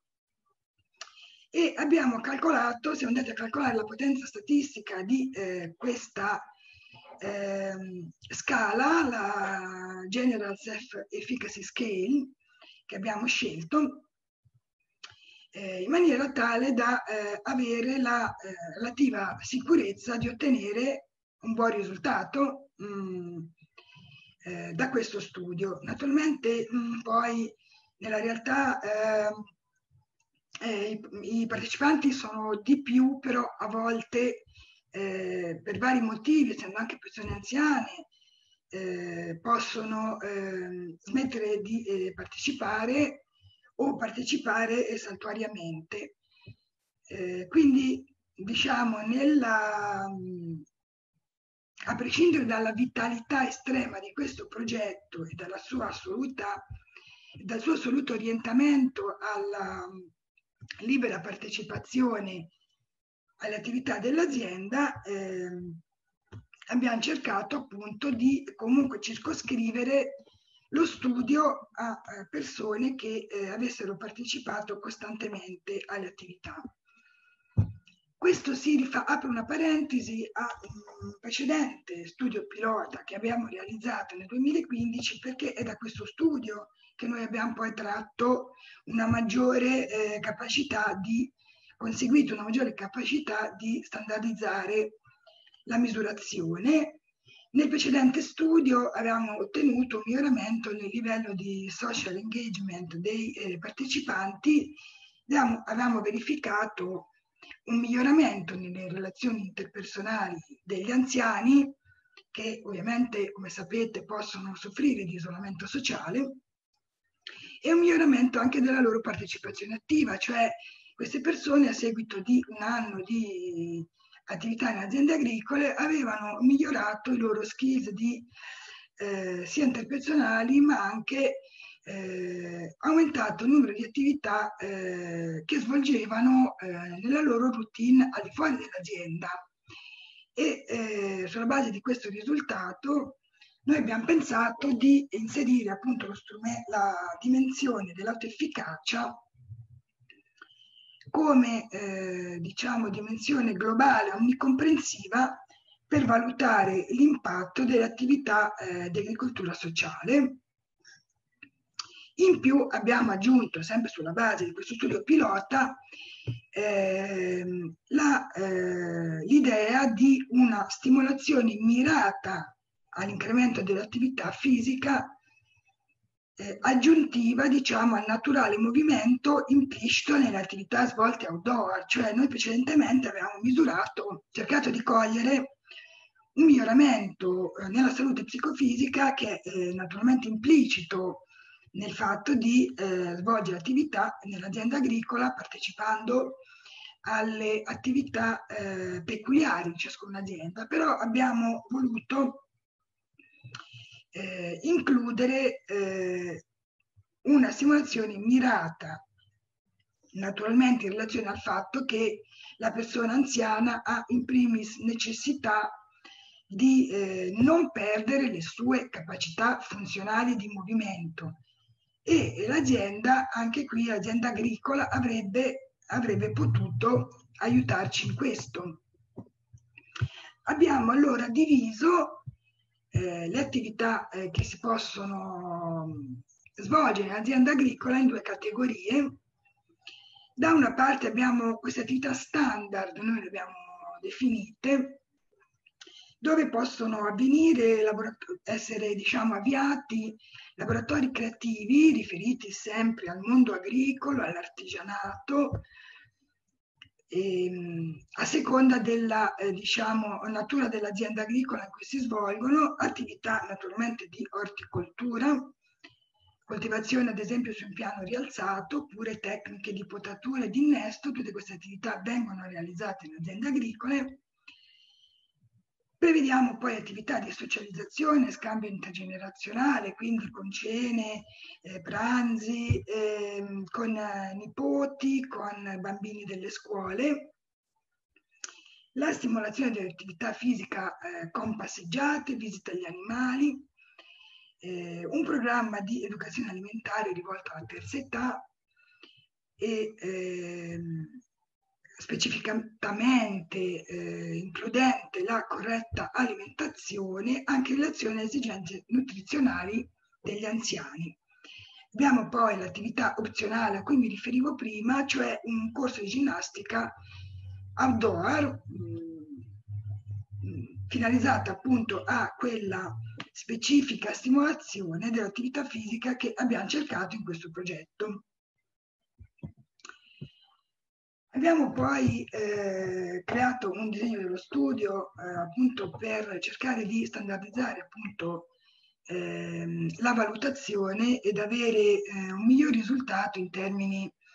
eh, scientifici, senza però eh, mai forzare le persone in nessun modo in direzione di um, un, diciamo, un'attività di tipo sanitario assolutamente non prevista, ma è più che altro una eh, modellizzazione eh, necessaria ad arrivare anche a disegnare una specie di intervento, però di tipo preventivo. Quindi, come vi, abbiamo, vi ho già detto, l'obiettivo primario è valutare eh, l'autoefficacia, l'aumento dell'autoefficacia che noi ci aspettiamo, ma anche gli altri parametri di cui poi già eh, in qualche modo si è, a cui si è già accennato prima, l'inclusione sociale, eh, la salute mh, psicologica, quindi mh, insomma vedete le variabili che abbiamo utilizzato. Abbiamo escluso non abbiamo messo criteri di inclusione, se non l'età praticamente, e abbiamo escluso persone che, eh, ma non sono, c'è stata un'autoesclusione, persone anziane che avessero insomma un'aspettativa di vita limitata naturalmente. Qui c'è una tabella eh, che um, diciamo non, non vi leggerò, ma riguarda l'incrocio tra eh, il nostro lavoro che abbiamo fatto metodologico, tra le attività mh, che si realizzavano le aree di intervento dello studio e gli strumenti utilizzati. Questa è squisitamente metodologica e riguarda la scelta degli strumenti. Le variabili dello studio, anche qui eh, era solo per mostrare appunto che eh, abbiamo utilizzato variabili eh, strumenti validati nella letteratura che quindi eh, facilitano naturalmente poi lo studio, eh, l'analisi dei dati e anche eh, la successiva ehm, valutazione del, degli esiti. Mm e quindi eh, sono tutti eh, strumenti validati per la popolazione anziana e validati in Italia. Cosa ci eh, aspettiamo da questo studio che è in corso e sta, finirà l'anno prossimo? Una riduzione eh, della solitudine delle persone anziane e un aumento eh, del loro network sociale, qui non è stato scritto, un miglioramento dell'inclusione sociale, un miglioramento nelle attività fisiche quotidiane, un miglioramento dell'umore, eh, della considerazione di se stessi, dell'autostima e della qualità della vita. Qui è giusto una foto che mh, dà un po' il senso del, veramente della coesione che si viene a creare tra queste persone che nell'indagine, nell'analisi qualitativa che qui non ho riportato, eh, eh, attraverso focus group, noi la svolgiamo con i focus group, eh, affermano eh, di aver trovato un'altra famiglia e, e, che questa famiglia per loro è diventata importantissima. Ve lo dico con parole eh, di tipo uh, più così emotivo, emozionale, ma effettivamente è quello che poi a questo livello emerge e mi sembra che questa foto eh, possa rappresentare i loro sentimenti.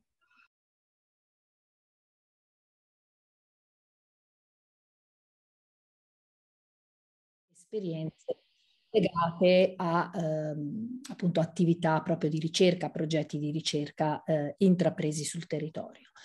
Quello eh, che mi sento però di evidenziare anche ascoltando eh, quelle che sono state le relazioni, le prime tre relazioni, è che non solo eh, c'è una variabilità eh, negli strumenti che vengono chiaramente proposti, eh, ma ehm, in queste tre relazioni, un po' come in quelle precedenti, io trovo che eh, la valutazione sia una valutazione molto collegata alla domanda di valutazione che ciascun progetto si porta dietro e quindi una valutazione più legata agli esiti progettuali piuttosto che a una valutazione come eh, nel suo intervento di apertura ricordava Francesco, una valutazione di, veramente di impatto. Eh, quindi forse questo è un elemento sul quale poi io spero eh, con voi di avere l'opportunità di discutere al termine di questa seconda sessione valutazione, perché chiaramente ehm, in tutti questi strumenti valutativi eh, che ci sono e che ci sono anche in queste tre relazioni,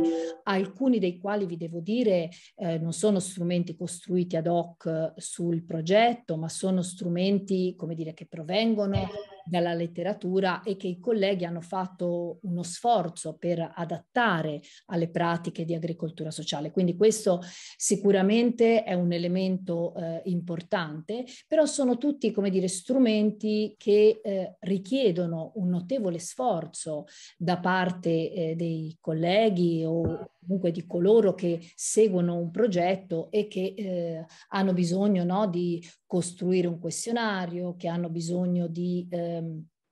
come dire, fare dei focus per raccogliere interviste, quindi c'è dietro un grossissimo sforzo organizzativo nella eh, predisposizione dello strumento valutativo eh, poi ecco, secondo me lo sforzo che noi dovremmo fare è anche capire come questo strumento valutativo che creiamo possa essere replicabile in futuro, possa essere portato fuori dal progetto specifico dove magari a volte noi abbiamo a disposizione risorse progettuali no? per, per valutare, quindi possiamo, come dire, permetterci, tra virgolette, di eh, avere risorse a disposizione attraverso i quali raccogliere dati, informazioni. Quindi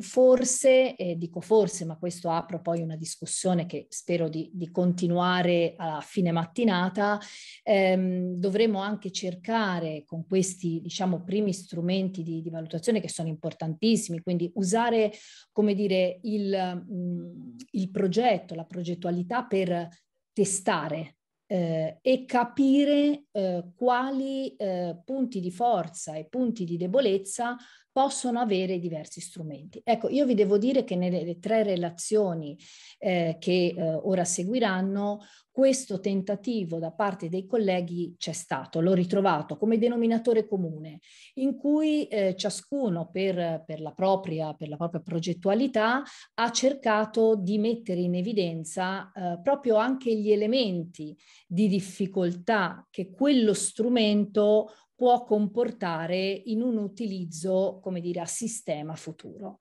Quindi io eh, lascerei con questa breve insomma, eh, osservazione che ho fatto eh, la parola al, al primo relatore. Eh, il primo relatore dovrebbe essere il dottor Francesco Basset, eh, che eh, ci presenta una, una, relazione, leggo il titolo, Valutare gli investimenti in agricoltura sociale attraverso la metodologia SROI. A te la parola Francesco.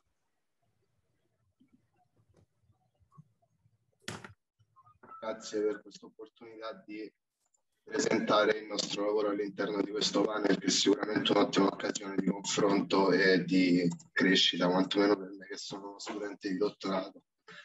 Eh, scusate, ti interrompo subito Francesco, sì. scusami, chiederei se fosse possibile ai tre relatori eh, di eh, contenere il proprio intervento nei 15 minuti, perché visto siamo andati un po' lunghi nei primi tre interventi e questo per consentire poi di aprire fra tutti noi una, una discussione più puntuale. Quindi se ce la fai eh, ti sarei molto grata. Grazie. Assolutamente. Eh, partendo con un brevissimo framework teorico, diciamo che i nuovi obiettivi dell'Agenda 2030 minima, mirano alla creazione di un valore aggiunto fortemente caratterizzato da componenti sociali e ambientali e questo in campo agricolo significa una maggiore attenzione per il ruolo multifunzionale dell'agricoltura. Inoltre l'inserimento eh, di nuovi obiettivi quali inclusione sociale e lotta della povertà all'interno della nuova PAC e dei Sustainable Development Goals dimostrano la centralità delle pratiche di agricoltura sociale per il raggiungimento degli obiettivi dell'Agenda 2030. Importante sottolineare qui il ruolo della valutazione eh, dell'agricoltura sociale per verificare l'efficacia di queste pratiche appunto per il raggiungimento degli obiettivi, ma anche per valorizzarne per valorizzarla soprattutto agli occhi di quegli attori che ancora non sono rientrati agli interni dei processi operativi di agricoltura sociale, al fine anche di creare quella multidisciplinarità di cui si è ampiamente parlato nella sessione precedente. Gli obiettivi della ricerca sono quelli innanzitutto di analizzare le metodologie esistenti in letteratura per la valutazione degli impatti sociali, sperimentare l'adattabilità della metodologia del social return on investment per valutare gli investimenti di agricoltura sociale e infine viene mostrata un'applicazione di questa metodologia ad uno specifico progetto di agricoltura sociale. Eh, come detto poco fa, il, diciamo, il macro obiettivo è quello di dimostrare l'importanza della valutazione per accrescerne la conoscenza e la diffusione. Da una prima analisi della letteratura si è visto come sono molteplici le metodologie che sono presenti per la valutazione degli impatti sociali. Eh, diciamo le più utilizzate sono l'analisi costi-benefici, il social impact assessment e l'analisi SWOT, mentre ultimamente eh, sono stati presentati dei lavori che proponevano l'utilizzo del social return on investment per eh, analizzare e valutare le pratiche di agricoltura sociale le caratteristiche principali del social return on investment sono quelle di ehm, volere proprio per volere un'esaustiva identificazione e conseguentemente un grosso coinvolgimento degli stakeholder, la creazione di una mappa degli impatti che individua gli effetti che questi progetti generano sugli stakeholder individuati e sviluppare degli strumenti di calcolo attraverso proxy finanziarie per quantificare in termini monetari eh, questi effetti. Andando a fare un brevissimo focus su quella che è la metodologia, diciamo che attraverso la quantificazione degli outcome con le proxy finanziarie l'obiettivo principale è quello di ridurre le disuguaglianze sociali e il degrado ambientale e migliorare il benessere degli individui. Vi sono due tipologie di social return on investment, una prima che è valutativa eh, che avviene diciamo post l'implementazione del progetto e una previsionale che invece avviene ante. Per una corretta attuazione della metodologia si prevedono sei fasi, una prima fase in cui viene stabilito il campo di analisi e identificati i principali stakeholder, una seconda fase in cui viene costruita quella mappatura degli outcome attraverso le interviste degli stakeholder che ci permette di verificare qual è il cambiamento poi effettivo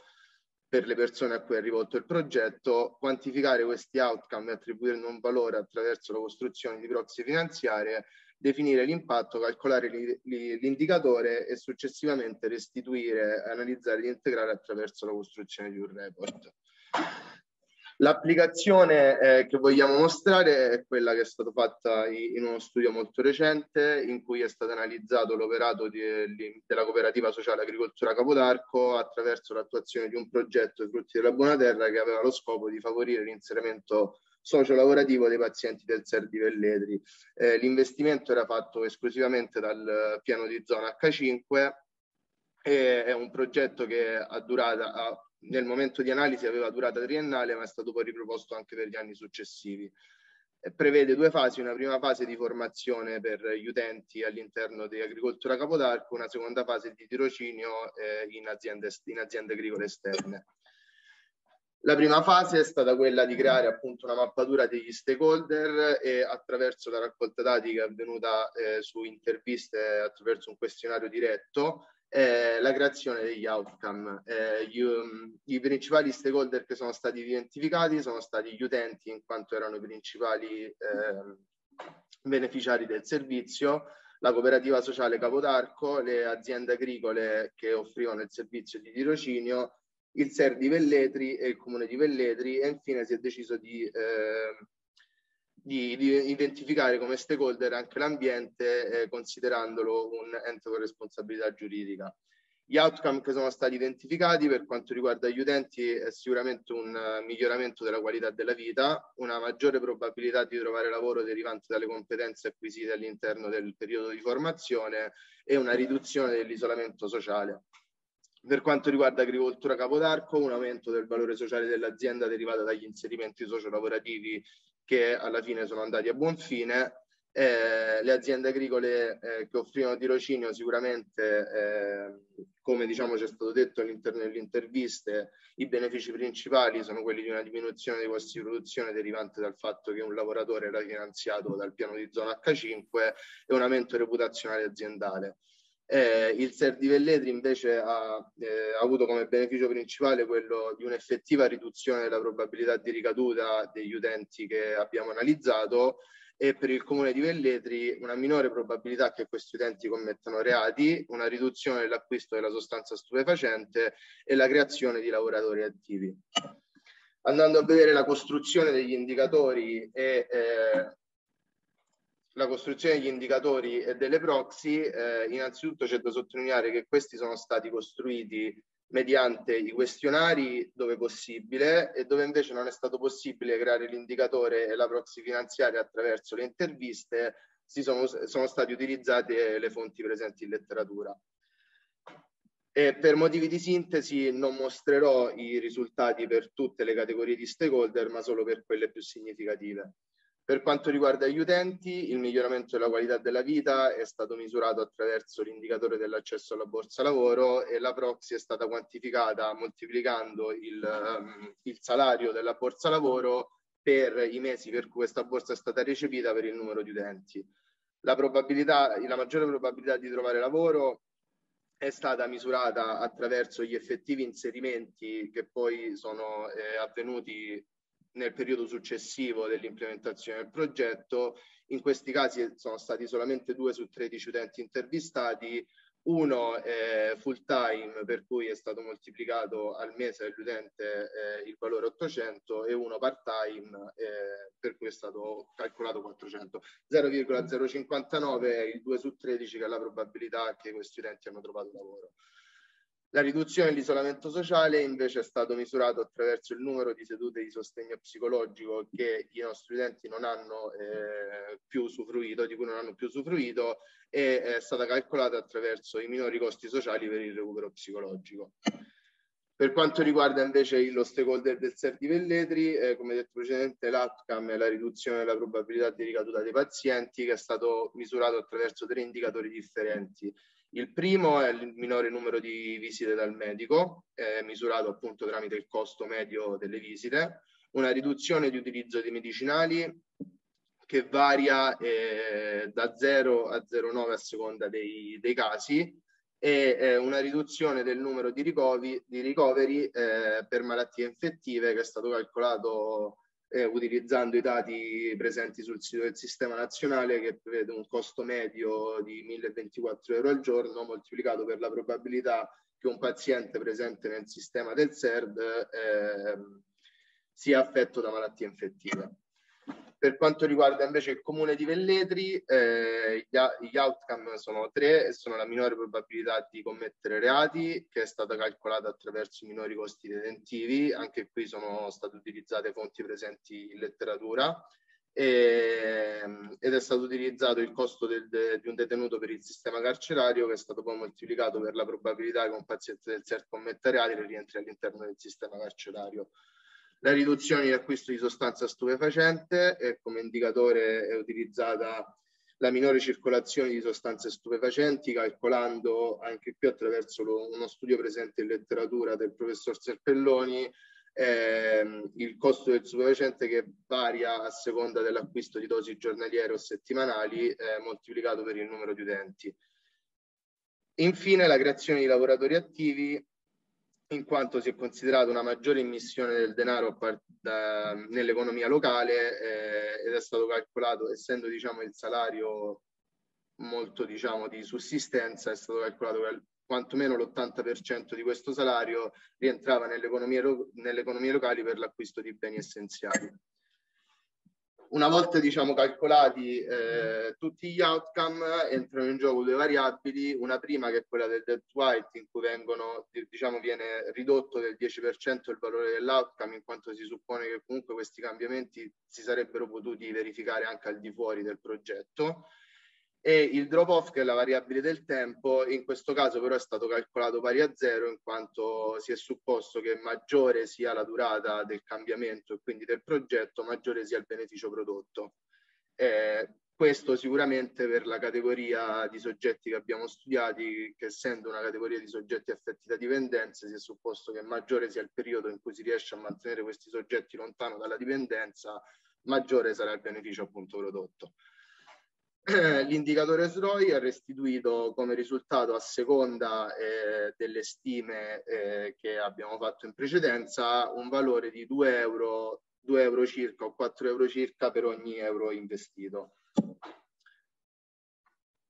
attraverso questa tabella si può vedere quella che poi è la caratteristica principale eh, della, dell'analisi SROI, che è quella di poter suddividere il risultato sia per gli stakeholder e quindi far vedere come comunque le pratiche di agricoltura sociale hanno un beneficio per tutti gli stakeholder e tutti gli attori che ne entrano in gioco, sia suddividere questo risultato per le tre componenti della sostenibilità, ovvero quella economica, sociale e ambientale. Da una prima analisi si può vedere come il 95% del risultato sia concentrato sulle categorie degli utenti del SERP del comune di Velletri e come solo il 5% eh, ricade sulla componente ambientale.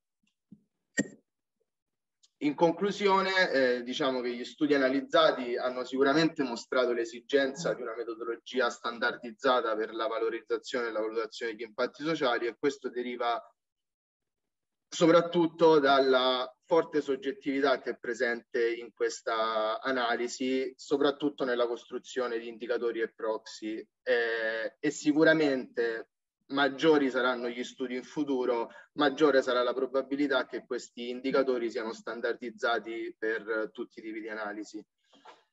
Il social return on investment è risultato comunque uno strumento adeguato per la valutazione degli investimenti, soprattutto per quanto riguarda la fase di coinvolgimento degli stakeholder e la fase di quantificazione dei benefici sociali.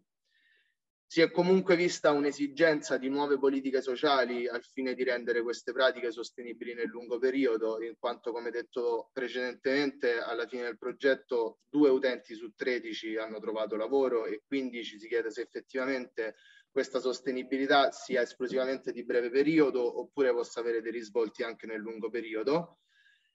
eh, soprattutto attraverso quel sistema di welfare di collaborazione tra enti pubblici, attori di welfare, enti privati e imprese agricole che possano permettere di eh, mantenere questa sostenibilità anche nel lungo periodo, creando un welfare rigenerativo che possa non solo non consumare le risorse presenti, ma possa rigenerarle e creare un valore sociale di cui può beneficiare tutta la società.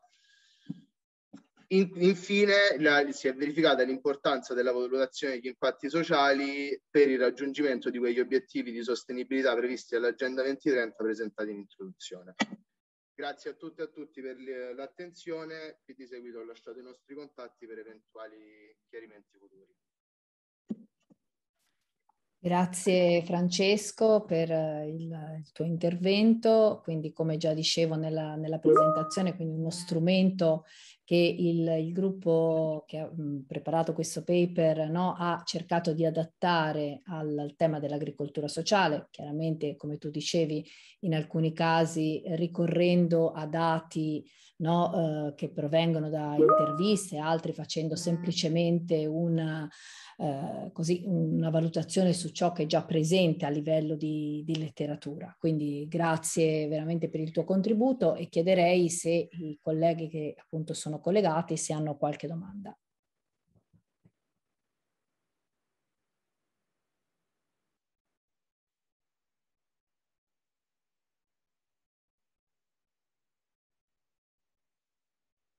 Nessuna domanda specifica su questo?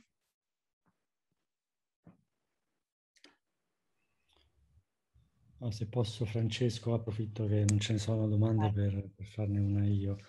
Eh, è chiaro, è interessante il, lavoro che avete fatto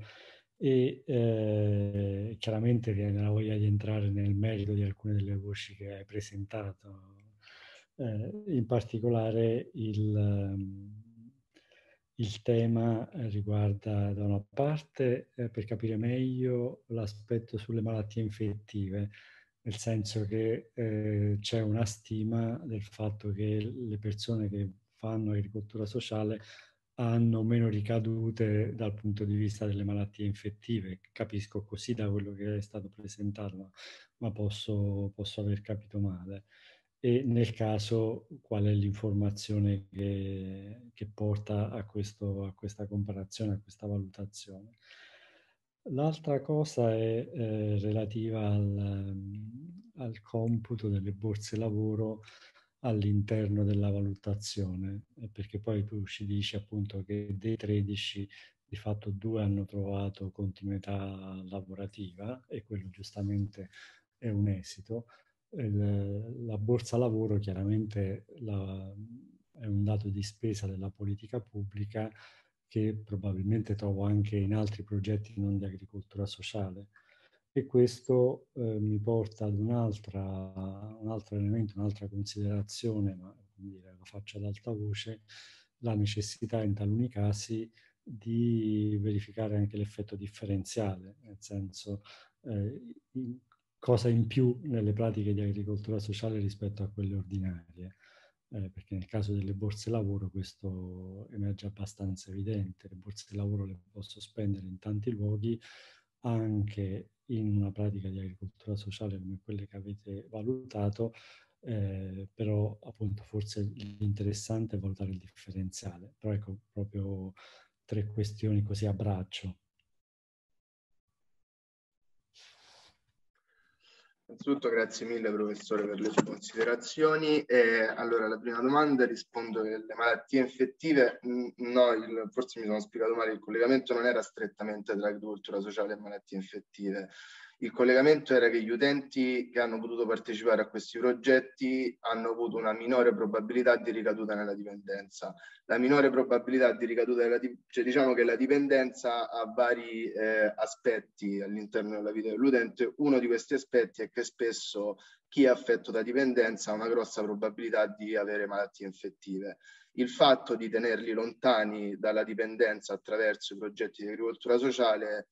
crea o almeno questa è stata la proxy che noi abbiamo voluto utilizzare per quantificarlo, anche una minore probabilità che questi utenti eh, abbiano malattie infettive o comunque siano esposti a malattie infettive. Eh, per misurarla a livello economico sono stati utilizzati i dati presenti sul, sul sito del SERD e del, dell'Istituto di Sanità che ci dicevano che la probabilità, cioè che il numero di utenti del SERD che hanno malattie infettive sul numero totale di influenti del SERD è una certa probabilità che poi è stata moltiplicata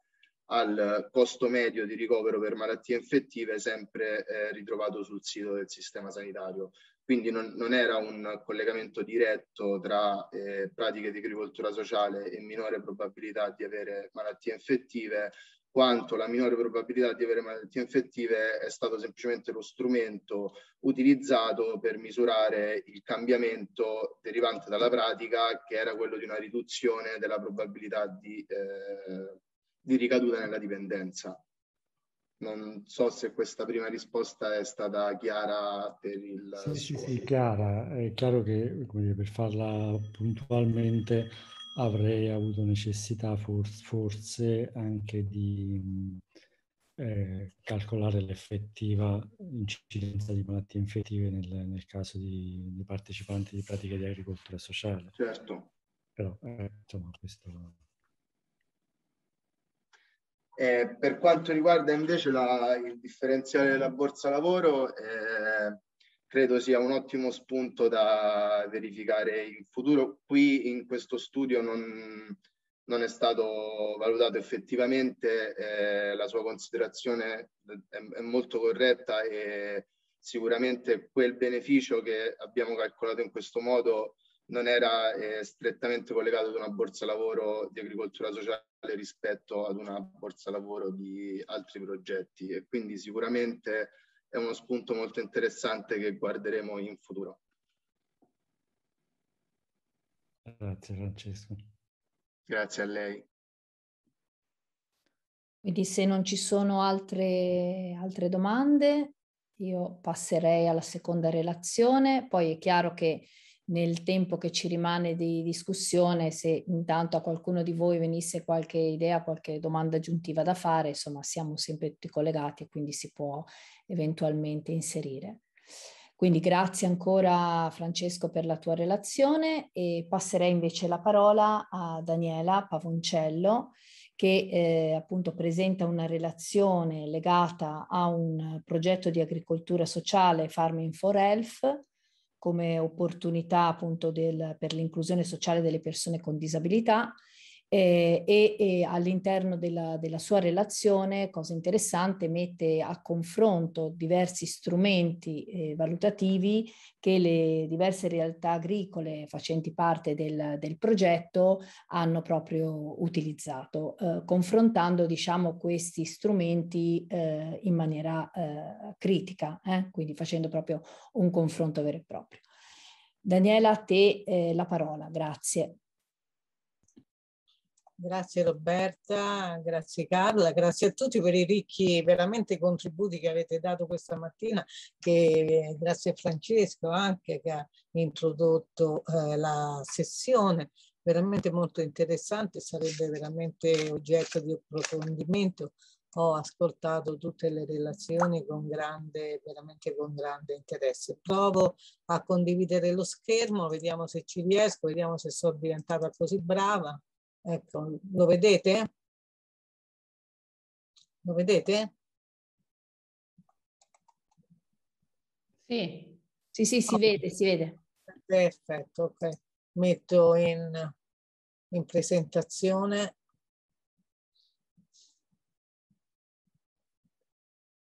Ecco. Ecco, allora io intanto vi porto i, i saluti della collega de, di Sabina Polidori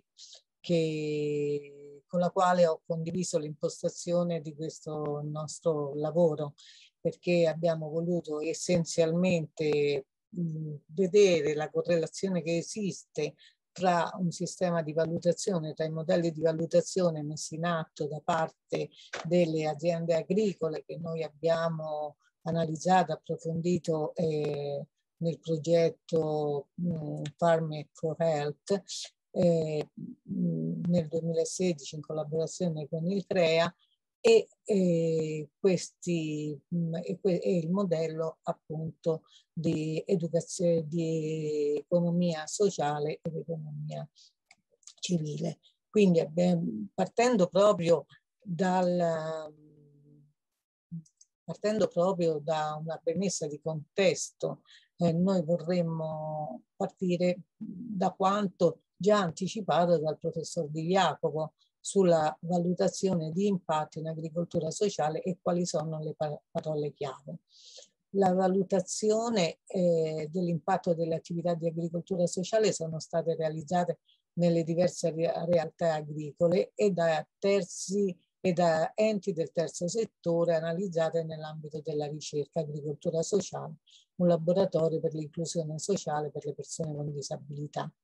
E in particolare, come anticipato anche da Roberta, sono stati presi in esame diversi modelli di valutazione messi in atto dalle aziende agricole e dalle cooperative che hanno al proprio interno assunto, eh,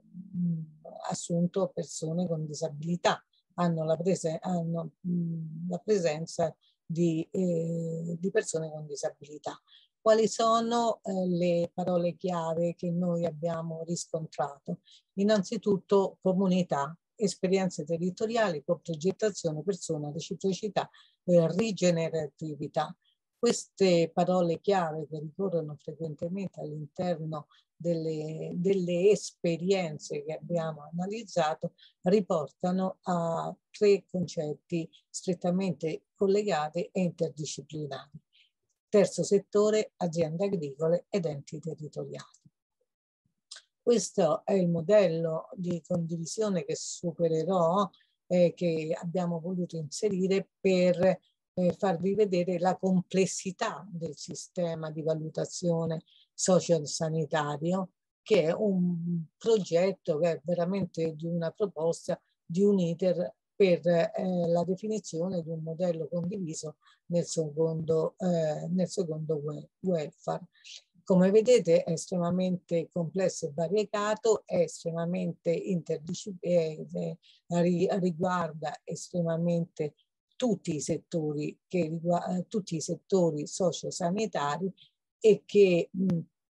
e, e riguarda soprattutto un'attività di ricerca sociale applicata realizzata appunto nell'ambito di un processo decisionale e in maniera integrata con tutte le fasi di programmazione, progettazione e intervento, avendo proprio lo scopo di riduzione della complessità decisionale, ma di controllo, verifica e di controllo, verifica e di correzione soprattutto di quelli che potrebbero essere gli elementi che, gli elementi che potrebbero essere discostanti rispetto agli obiettivi prefissati. Quindi è, è fondamentale accettare le conseguenze sia operative relative al rapporto tra decisori, operatori e beneficiari dell'azione.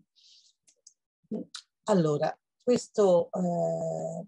partendo quindi da questa complessità del, del sistema di valutazione, per valutazione dell'impatto sociale negli enti del terzo settore si intende proprio la valutazione qualitativa e quantitativa su, sul breve, medio e lungo periodo degli effetti delle attività svolte sulla comunità di riferimento rispetto all'obiettivo individuato. Relativamente all'agricoltura sociale, altre attività di interesse generale che riguardano l'agricoltura sociale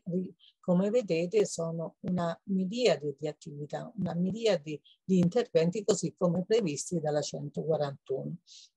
Interventi, interventi sociosanitari, interventi prestazioni sanitarie, eh, educazione, istruzione, formazione e, e inserimento lavorativo, eccetera. Ma quello che a noi interessava in particolare è valutare diciamo, vedere come questo lavoro di agricoltura sociale abbia un impatto sociale come valore generativo di comunità all'interno degli enti, eh, degli enti del terzo settore, delle aziende eh, presenti sul territorio.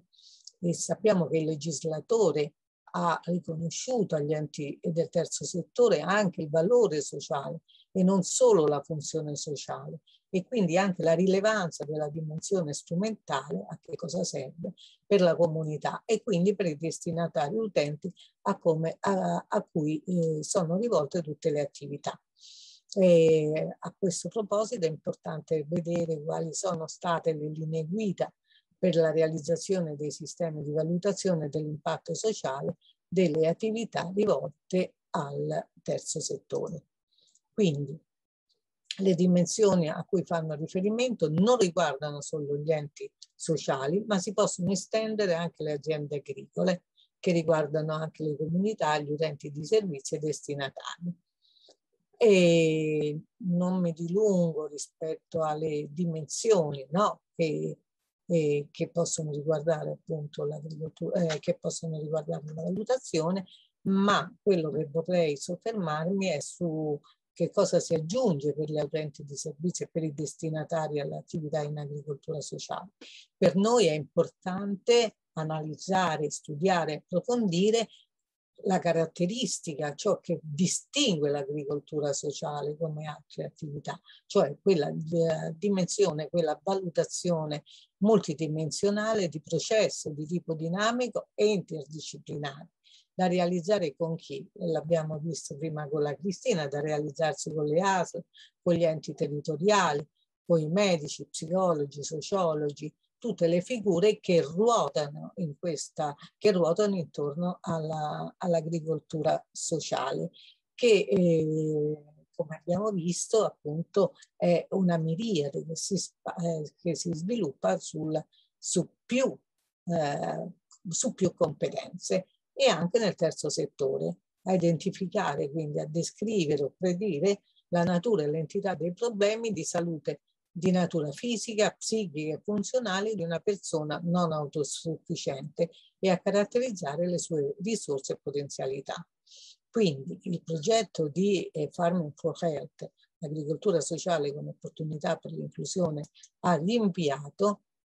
eh, una lettura attenta su quelli che erano, su quelli che sono stati gli indicatori e gli scrittori per l'individuazione appunto di questi modelli di valutazione di buone pratiche. Eh, per, tra i possibili indicatori per il riconoscimento di un'esperienza positiva territoriale di inclusione e di accompagnamento sono stati individuati i seguenti elementi. Innanzitutto esperienze di, eh, a noi interessava in particolare eh, le, eh, ci interessavano in particolare le esperienze di inserimento lavorativo di persone con disabilità, cioè la presenza di progetti finalizzati all'inserimento lavorativo, e la, gli accordi con le aziende e gli enti settori, eh, esperienze di tirocinio e di alternanza scuola-lavoro, il controllo delle ricadute del progetto in termini occupazionali in relazione al numero di inserimento post-progetto, presenza di incentivi per le aziende, monitoraggio e valutazione, lavoro di rete sul territorio, la realizzazione di attività professionalizzanti come i laboratori,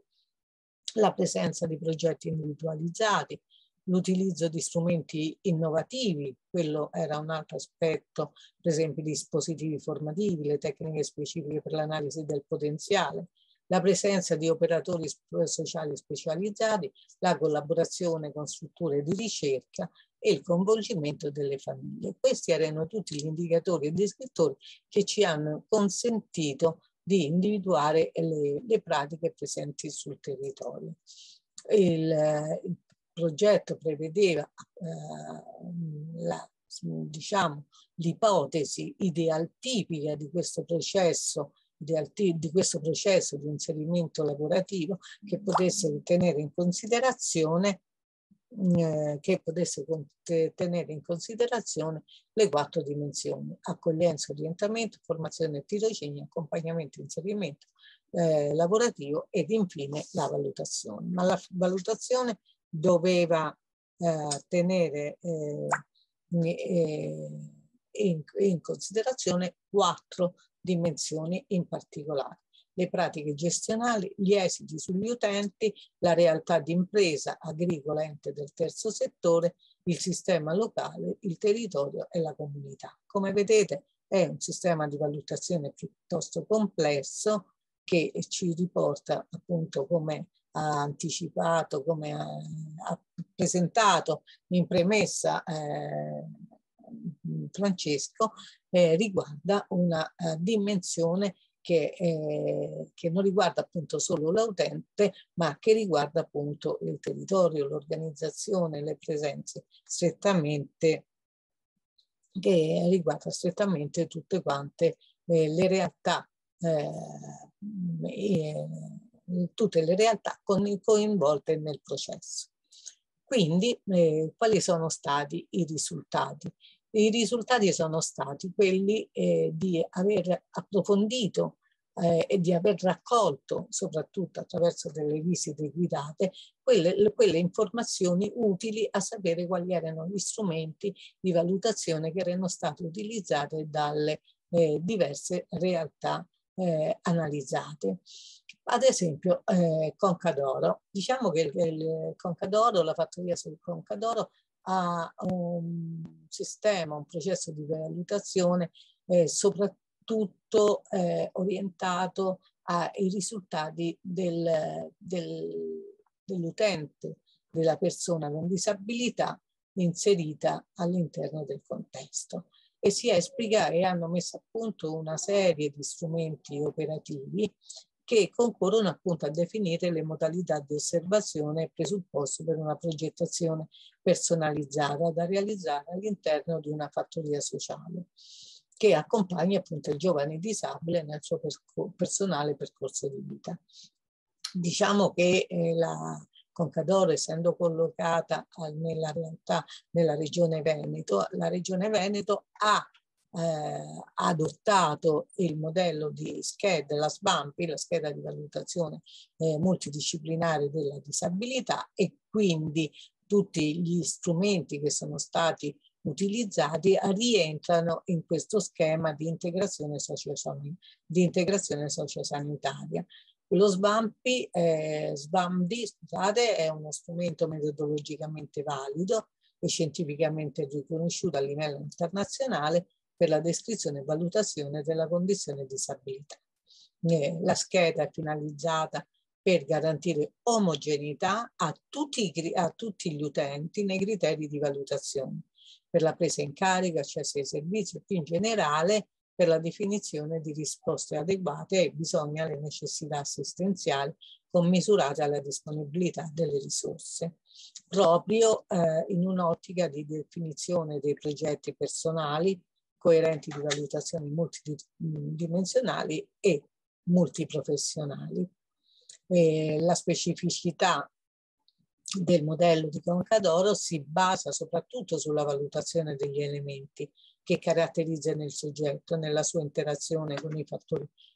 ambientali, nella definizione di un progetto di intervento finalizzato a migliorare e a mantenere la qualità di vita del soggetto in un'ottica veramente di ecolo ecologica di valorizzazione delle risorse già disponibili nel contesto di vita di sostenibilità di, complessiva del sistema. All'interno del suo volume la fattoria, fattoria, le fattorie sociali potrete trovare eh, una variegata eh, rappresentazione di questi strumenti di valutazione e di osservazione rivolti alla, alla persona dove voi potete vedere che sono strumenti utilizzati non solo dagli operatori, ma richiedono appunto un'osservazione da parte della famiglia, da parte degli, e da parte anche delle strutture eh, sanitarie. È abbastanza un sistema piuttosto complesso e, per, e variegato è uno strumento che ti consente sia in ex ante che in ex post di valutare, di verificare, di monitorare soprattutto i risultati ottenuti. i risultati ottenuti da questa osservazione consentiranno di eh, inserire la persona disabile nel, nei contesti eh, lavorativi più adeguati alle sue capacità e alle, alle sue capacità, interessi e attitudini. Ecco, eh, ritorniamo anche noi sul Capodarco, eh, viene eh, anche, abbiamo tenuto in considerazione anche la Capodarco, la valutazione viene svolta durante l'ingresso della persona disabile, sia in fase ex ante che in itinere all'interno di questo progetto Viva Io.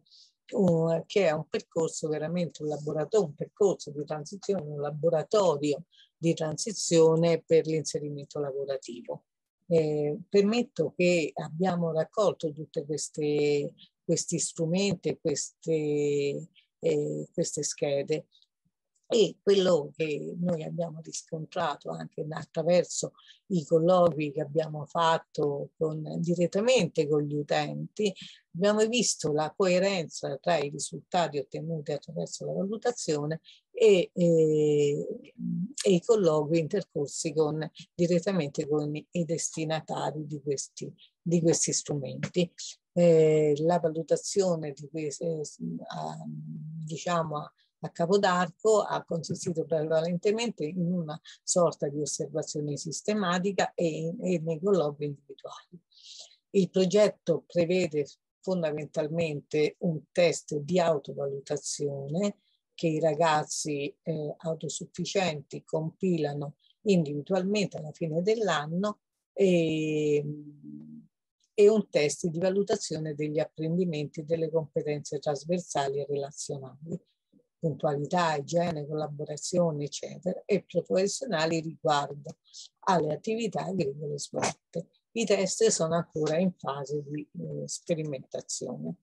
Un'altra esperienza particolarmente significativa, ma rivolta a, un particolare, a una particolare tipologia di target che riguarda i giovani con disturbo dello spettro autistico, eh, soprattutto eh, mirata anche secondo un modello diciamo cognitivo comportamentale è mirata soprattutto a stimolare le potenzialità, eh, le potenzialità individuali di questi, di questi ragazzi secondo un modello educativo individualizzato, proprio partendo eh, da una valutazione pedagogica grazie al quale viene redatto un piano individuale riabilitativo eh, dall'equipe del centro. Ogni giorno, ogni, quotidianamente, diciamo che hanno una scheda di monitoraggio dove vengono annotati i risultati ottenuti dalla, dalle attività che vengono cal calendarizzate secondo il modello ABA.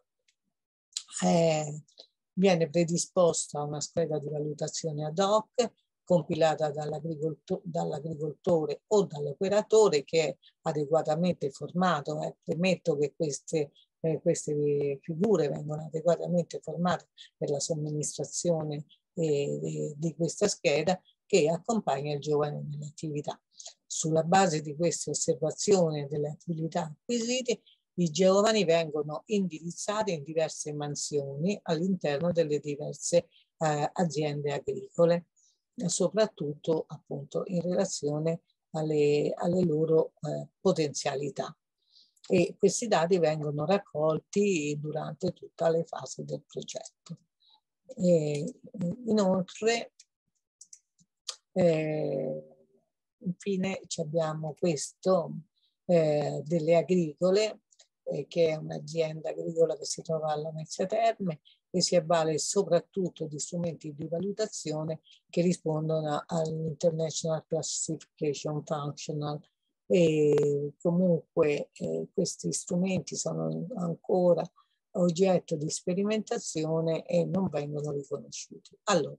arriviamo alle conclusioni. Allora, quello che possiamo dire è che eh, l'immagine l'analisi territoriale ci ha restituito un'immagine di agricoltura molto svariegata, difficilissimo da descrivere in modo unitario ed uniforme e qui si richiede la necessità non di omologare o di standardizzare, ma di trovare degli strumenti eh, che possono con sistematicità eh, valutare appunto eh, monitorare i, i, processi diciamo di inserimento eh, di questo stiamo parlando dei processi di inserimento lavorativo delle persone con disabilità. Eh, pertanto la, è fondamentale predisporre e sperimentare e attivare un progetto di ricerca che consenta veramente eh, di eh, individuare appunto degli strumenti che possono essere eh, utili e funzionali alla valutazione di questi aspetti. L'azione valutativa su pratiche così del genere risulta un'operazione piuttosto difficile. Eh, se noi analizziamo le pratiche di agricoltura in una prospettiva di comunità, eh, si nota come queste abbiano sicuramente un impatto diffuso che va al di là dei singoli beneficiari e che riguarda, eh, che riguarda anche la famiglia dell'utente, il sistema locale costituito dalla pluralità degli stakeholder coinvolti, il sistema di rete di riferimento e il consumatore eh, finale.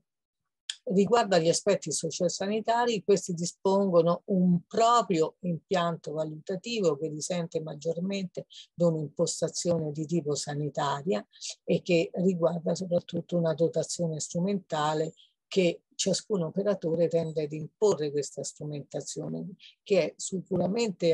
valida in fase di diagnosi funzionale, però che, che richiede una, una riflessione eh, considerando che eh, se la persona deve essere inserita all'interno di un contesto di un'azienda agricola, devono essere considerati anche altri punti di vista. Purtroppo, purtroppo devo dire che l'agricoltura sociale nei, contesti sociosanitari è vista come l'ultima spiaggia, cosiddetta anche dagli operatori. Quindi non può essere eh, la panacea de, risolutiva di tutte le difficoltà di inserimento, ma deve essere puntualizzata, ok? Deve essere puntualizzata, studiata e analizzata in relazione veramente alle potenzialità e alla capacità della, della persona disabile che viene inserita all'interno del contesto. Da questo punto di vista l'analisi dei criteri e delle modalità di invio fa comprendere appunto come questi siano il risultato di valutazione del tutto estemporaneo, appunto come l'ultima strada.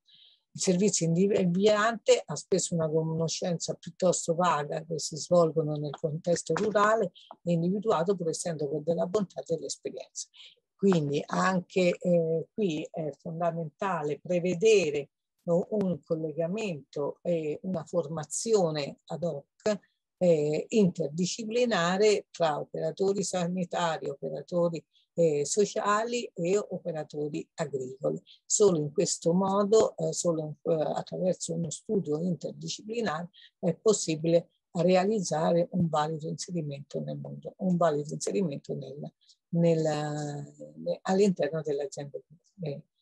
delle, delle aziende, delle fattorie sociali. Allora, per concludere, concludo, per, per concludere eh, quindi la fase di ingresso nella fattoria sociale solitamente destinata all'osservazione preliminare alla stesura del progetto personalizzato non appare assolutamente strutturata nella maggior parte dei casi dei progetti analizzati, quindi risulta essere la conseguenza di un invio poco ragionato e talvolta anche dalla mancanza di una profilatura delle aziende agricole e terzo settore. Un altro, un altro aspetto riguarda la strutturazione del progetto personalizzato e l'individuazione di obiettivi mirati per il nuovo contesto di riferimento. Si assiste fre frequentemente ad una reiterazione degli ob di obiettivi stereotipati desunti da, per da percorsi inclusivi precedenti, in quanto le persone inserite hanno spesso una storia pluriennale di prese in carica e quindi gli operatori tendono a fare riferimento alla cartella sociale, sociosanitaria e sanitaria già aperta. Ciascuna delle realtà selezionate, come abbiamo visto, è una sorta di unicum per storia, contesto territoriale, motivazione dei promotori, sensibilità da parte dei responsabili, dotazione di risorse, capacità economiche, capacità di rete sul territorio, prospettive di sviluppo, progettualità, eh, re, eh, rete, eh, rete, de, rete di contesto. Secondo il nostro punto di vista, l'agricoltura abbraccia queste tre dimensioni, benessere sociale, sistemi di governance e, e sviluppo economico sostenibile, al quale non si, eh, dimensioni sulle quali non si può prescindere se vogliamo effettivamente valutare un impatto sociale positivo che riguarda tutti gli ambiti, quindi non solo la persona, ma il, il territorio, l'economia e il sistema di governance. Questa è una breve bibliografia che, abbiamo, che vi restituiamo per eventuali approfondimenti.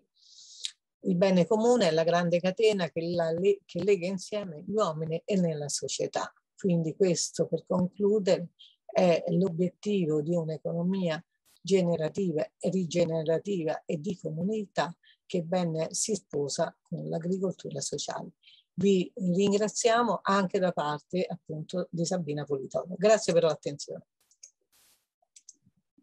Grazie Daniela, grazie della, della tua presentazione. Io prima di chiedere appunto se ci sono domande vorrei porre l'attenzione su due aspetti che hai evidenziato e che appunto visto che non sono emersi nelle relazioni precedenti vorrei cogliere l'occasione perché penso personalmente che siano molto importanti quando si parla di, di pratiche di agricoltura sociale e anche di valutazione di pratiche.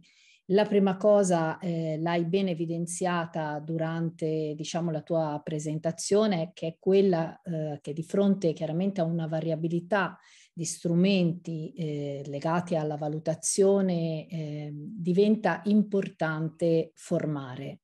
formare coloro che eh, fanno e svolgono un'attività di monitoraggio, che quindi raccolgono questi dati. Tu parlavi eh, di schede che vengono, diciamo, in parte riempite direttamente dall'utente, in parte dalle aziende, in parte eh, dagli stessi operatori.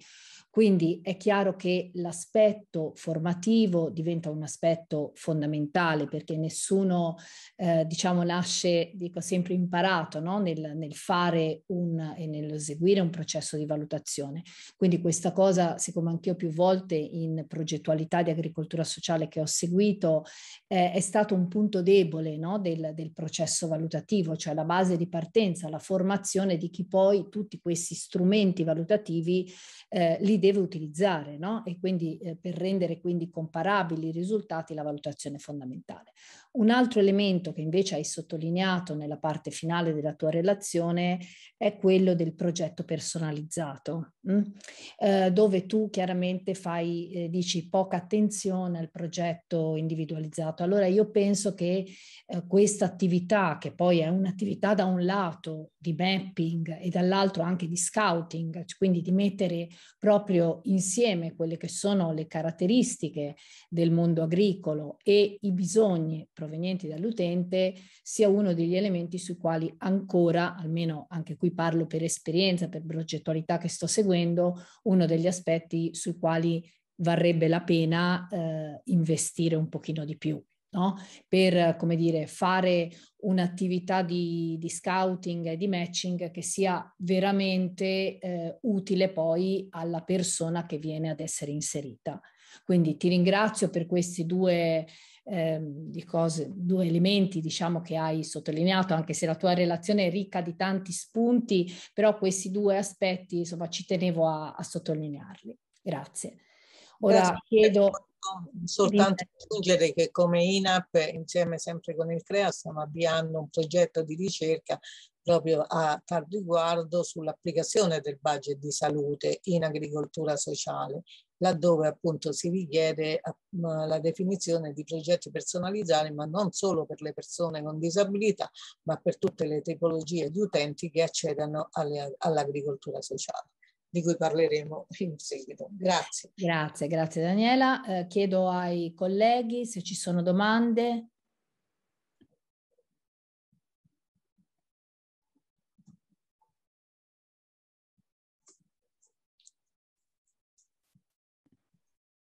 Se non ci sono richieste di domande, chiarimenti, forse passiamo sempre con la stessa logica, se poi qualcosa vi viene in mente si può recuperare. Passiamo all'ultima relazione della mattina.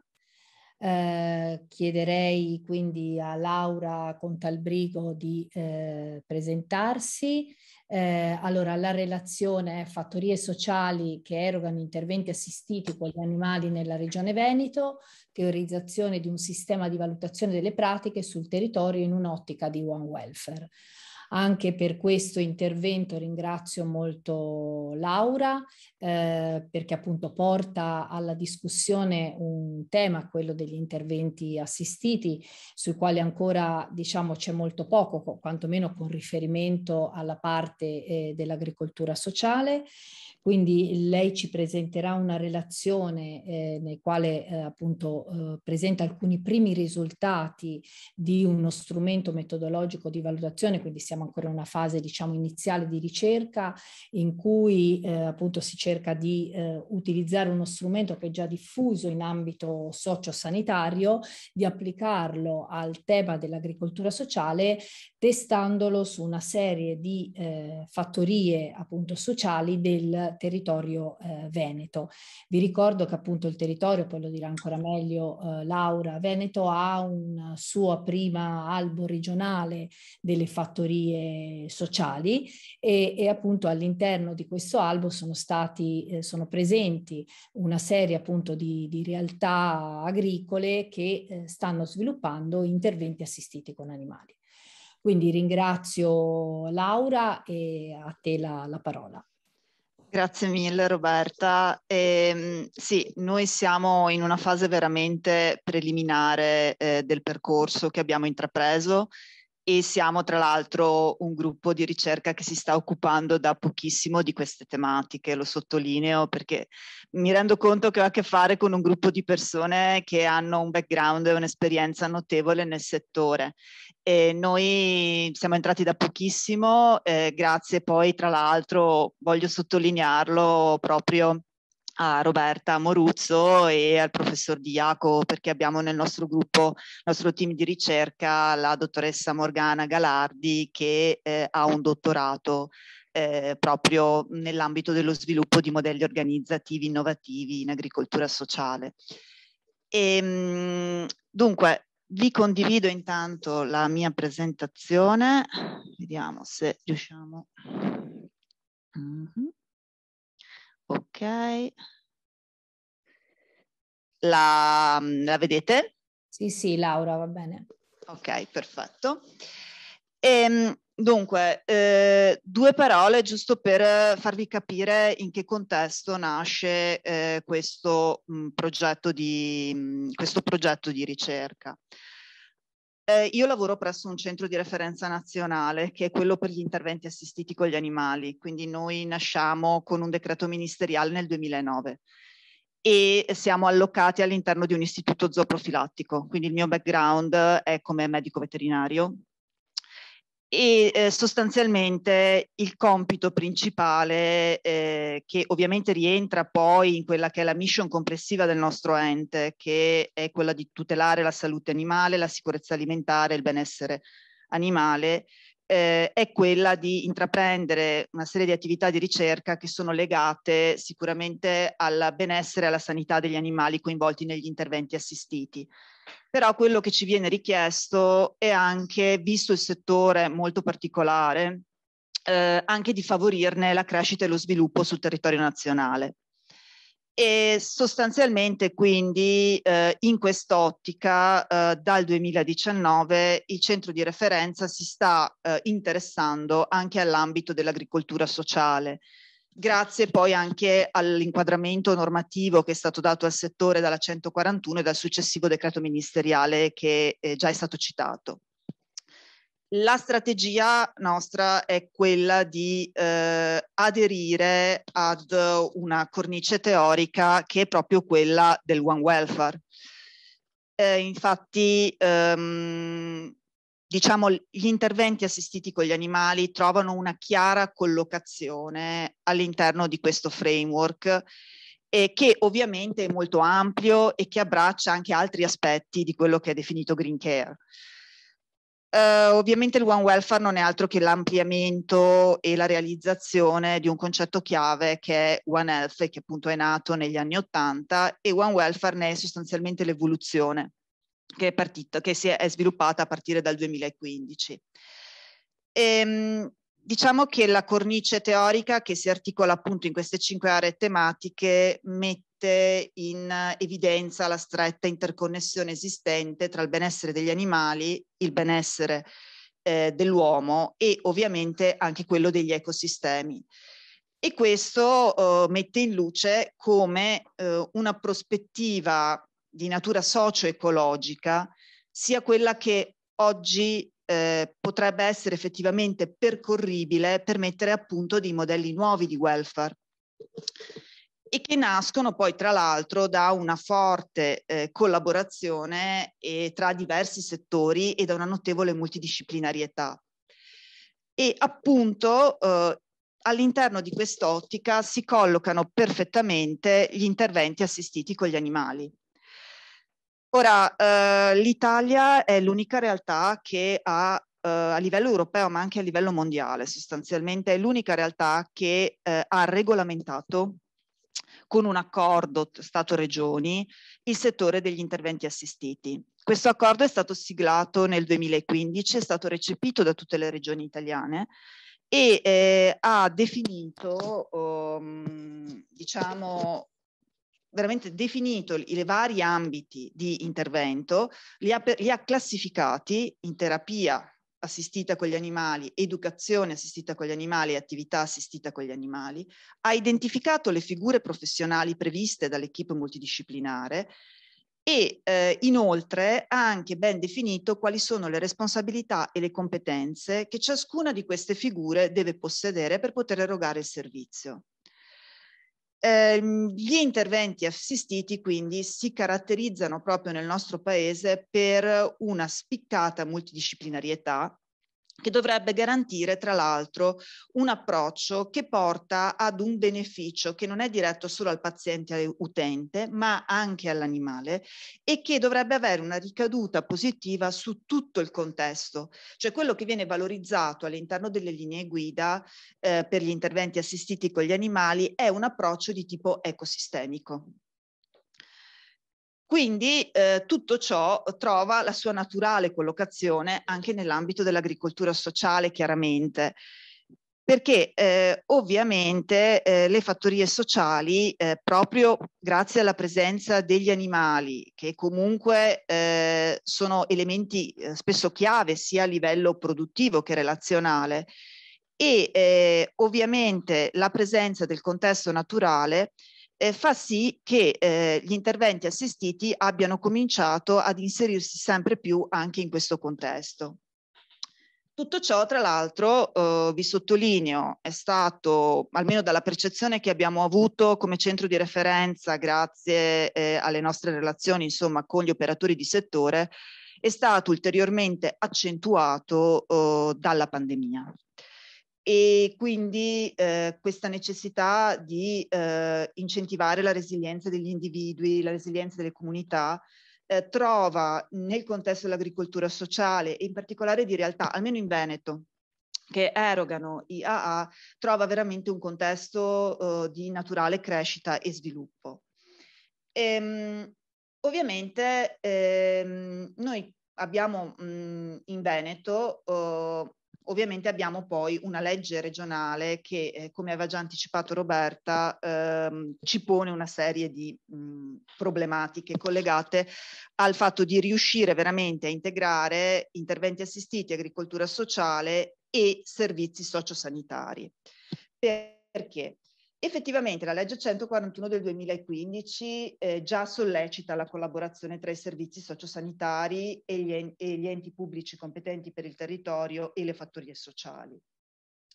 Il decreto ministeriale riprende questo concetto e tra l'altro cita apertamente le linee guida per gli interventi assistiti eh, quando fa riferimento alla possibilità eh, di erogare eh, prestazioni e servizi che supportano terapie mediche, psicologiche e riabilitative. Però in Veneto abbiamo um, un problema non indifferente che non è tanto la legge regionale del 2013 che eh, è una legge che ci ha permesso, che ha permesso di istituire un vero e proprio elenco e che eh, prende, l'elenco prende vita anche attraverso l'istituto della conferenza dei servizi. Tra l'altro il centro di referenza è parte dei membri della conferenza dei servizi che verifica la presenza di una serie di eh, requisiti in capo al richiedente per erogare i servizi per i quali richiede l'iscrizione. La legge regionale, tra l'altro, aveva già nel 2013 inserito gli interventi assistiti all'interno del, dei servizi erogabili, eh, sia con una connotazione riabilitativa, quindi terapia, educazione, sia con una connotazione di natura ludico-ricreativa, cioè come attività assistita. Eh, e già questa legge prevede eh, che ci sia ipoteticamente un coinvolgimento delle fattorie sociali nella programmazione dei piani di zona dei servizi sociosanitari. Però eh, abbiamo una, un problema legato alla necessità di adeguare un'altra legge regionale che è, una legge, che è la legge 22 del 2002 che riguarda invece l'attuazione e l'accreditamento delle strutture sanitarie, sociosanitarie e sociali. E questa legge pone un enorme limite alla possibilità delle aziende sanitarie di istituire poi, creare convenzioni effettive con le fattorie sociali e quindi ehm, si pone la necessità eh, di eh, creare una vera e propria nuova unità d'offerta sociosanitaria che permetta alle aziende sanitarie eh, di ehm, ovviamente stipulare convenzioni eh, per l'erogazione di tutta questa serie di interventi che possono essere di supporto alle terapie mediche, psicologiche o riabilitative. Ora, in questo contesto mh, normativo si innesta la riflessione che abbiamo iniziato a fare mh, con la Regione, in quanto mh, si pone il problema di mettere a punto degli strumenti che siano eh, effettivamente in grado eh, di permettere una valutazione della qualità dei servizi erogati eh, dalle fattorie sociali sul territorio, in particolare quelle ovviamente quelle presenti nell'elenco regionale e soprattutto per gli ambiti inerenti agli interventi assistiti. Perché eh, al di là della rispondenza, la stretta rispondenza a quelli che sono i requisiti normativi, eh, per effettuare quella che è una valutazione sullo standard qualitativo del servizio erogato, eh, le aziende sanitarie devono fare anche delle valutazioni in rapporto ai costi che vengono sostenuti. Quindi la scelta stessa di acquisizione di un servizio dovrebbe essere indirizzata verso quelle realtà che sono in grado di mh, sostanzialmente garantire la, anche la maggiore efficienza possibile nella gestione della risorsa economica, senza però andare ad intaccare la produzione di valore per l'utenza. Quindi in quest'ottica si è aperta la nostra riflessione eh, che ha preso innanzitutto in considerazione ehm, una mh, quel, quelli che sono gli strumenti che generalmente eh, vengono eh, utilizzati in ambito sociosanitario per la valutazione della qualità dei servizi. Cioè il modello classico è quello che eh, vedete qui nella slide e eh, quindi il fatto delle quattro componenti, no? risorse, processo, output e outcome, ovvero i risultati che si ottengono sulla popolazione target. Quindi qui abbiamo delle valutazioni che sono delle valutazioni multicriteri, eh, individuiamo delle dimensioni, dei criteri e degli indicatori. E tuttavia eh, questo modello ha um, diciamo un limite che non è molto flessibile. Cioè, mh, e inoltre eh, nella valutazione eh, del servizio alla persona eh, questo modello ha un eh, limite legato proprio al fatto che l'azienda agricola deve produrre valore che sia sostenibile, perché è anche una realtà produttiva che deve vivere in stretta interconnessione con il suo territorio. E, e questo significa eh, che l'azienda agricola eh, deve sostanzialmente eh, essere in grado di non solo mh, fornire valore migliorando le proprie performance sostanzialmente, ma innestarsi all'interno di un ecosistema che è quello in cui effettivamente opera, rispondendo a quelle che sono le necessità del territorio e quanto bene essa risponda a queste necessità dovrebbe essere ovviamente misurato. Inoltre eh, è fortemente condizionata da tutte quelle che sono le condizioni sociali, economiche, ambientali che può trovare in quel territorio e che ovviamente limitano la sua capacità di sussistenza. E quindi eh, noi abbiamo cercato di capire effettivamente ehm, quali strumenti di valutazione potessero essere più evoluti rispetto a questo e potessero essere applicabili anche ad una prospettiva che è più olistica, che è adattativa, che tiene conto quindi del contesto, che tiene conto dell'evoluzione e delle dinamiche che si possono creare eh, all'interno dell'azienda stessa e del rapporto dell'azienda con il territorio e con gli stakeholder nel senso più ampio ehm, cercando anche di inglobare una componente di co-creatività. Quindi eh, aspetto, tutti questi aspetti eh, sono stati eh, indagati cercando di andare appunto a studiare quelli che sono i vari modelli che erano presenti in letteratura eh, per quanto riguarda ehm, la, la, valutazione eh, di servizi alla persona in ambito sanitario e sociosanitario. Ehm, Ovviamente noi siamo arrivati al momento semplicemente di identificare delle dimensioni e delle possibili aree di valutazione, mentre tutto quello che riguarda gli strumenti di valutazione, i criteri, eh, verranno messi a punto in un secondo momento. Abbiamo cercato di eh, integrare quindi eh, il, il, modello, un modello che abbiamo scelto tra quelli presenti in letteratura, con poi quella che è tutta la cornice teorica del One Welfare. Dal punto di vista metodologico abbiamo fatto un'analisi della letteratura ehm, basandoci principalmente su, eh, abbiamo considerato review e review sistematiche. Abbiamo escluso la letteratura che faceva riferimento specifico alle norme ISO eh, perché sostanzialmente lo, lo consideriamo come un criterio che va a supporto di un sistema di valutazione del servizio, ma non come un elemento esclusivo. E eh, da qui poi, una volta che abbiamo individuato il, il modello, eh, abbiamo sfruttato da un lato il supporto di Coldiretti eh, nella realizzazione eh, di due focus group eh, che ehm, erano stati in realtà messi a punto per avere un inquadramento della situazione in Veneto eh, e per approfondire soprattutto aspetti collegati ai modelli organizzativi esistenti. E da lì però abbiamo poi avuto moltissimi input eh, anche per quanto riguarda la parte legata allo sviluppo di un modello di valutazione. Dalle informazioni raccolte anche attraverso i focus group abbiamo poi strutturato una survey come un questionario pilota sostanzialmente che era costituita prevalentemente da eh, domande aperte per raccogliere tutta una serie di dati esplorativi circa la possibilità effettivamente di utilizzare le dimensioni che avevamo identificato come strumenti di valuta, per um, diciamo, uh, che le dimensioni individuate fossero quelle che effettivamente poi essere andare, dove, dove potrebbero essere valutate. Ora, dall'analisi della letteratura, vediamo, ecco qua,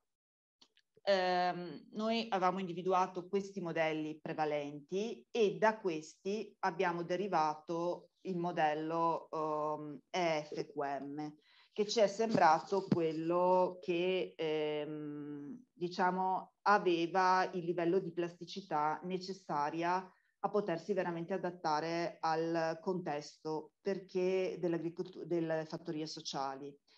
Perché ha una plasticità che permette di eh, essere mh, utilizzato in contesti che non producono solo beni ma che producono anche servizi alla persona si caratterizza per la sua circolarità che è produttiva e anche per questo aspetto co-creativo perché alla fine è vero che nel contesto dell'agricoltura sociale noi abbiamo spesso la coesistenza di consumatori e di utenti di servizio. Abbiamo queste figure di, che potrebbero diventare dei veri e propri prosumer. E quindi ehm, eh, diciamo che questo modello era quello che offriva sostanzialmente eh, la, quel livello di mh, circolarità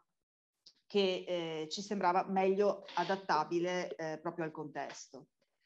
Sappiamo che questo tipo di modello eh, sostanzialmente ehm, si basa su eh, tre domande fondamentali a cui il, pro- il, provider o comunque l'azienda deve rispondere, che è eh, gli obiettivi per cui eh, l'obiettivo dell'azienda, cioè perché essa esiste, e questo è l'elemento di direzione, poi come gli obiettivi vengono perseguiti e quindi la fase di attuazione e eh, cosa è stato raggiunto e che cosa si vuole raggiungere in futuro.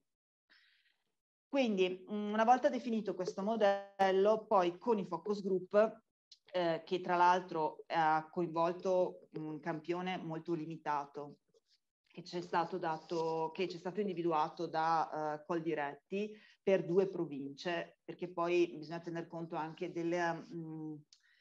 non so come sia nelle altre regioni, però almeno in Regione Veneto c'è anche una forte differenza di tessuto sociale tra provincia e provincia. Eh. E quindi abbiamo individuato delle aziende che erano collocate nella provincia di Padova e nella provincia di Vicenza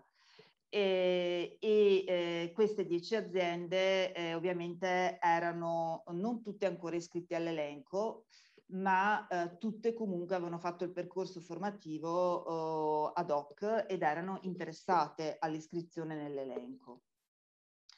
Queste aziende si definiscono tutte aziende multifunzionali e la loro principale attività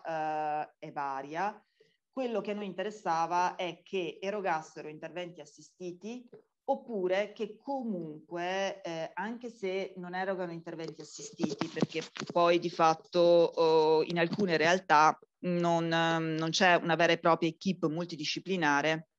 ma ehm, sono presenti animali che eh, comunque eh, interagiscono con l'utenza, ma senza delle finalità precise. Ecco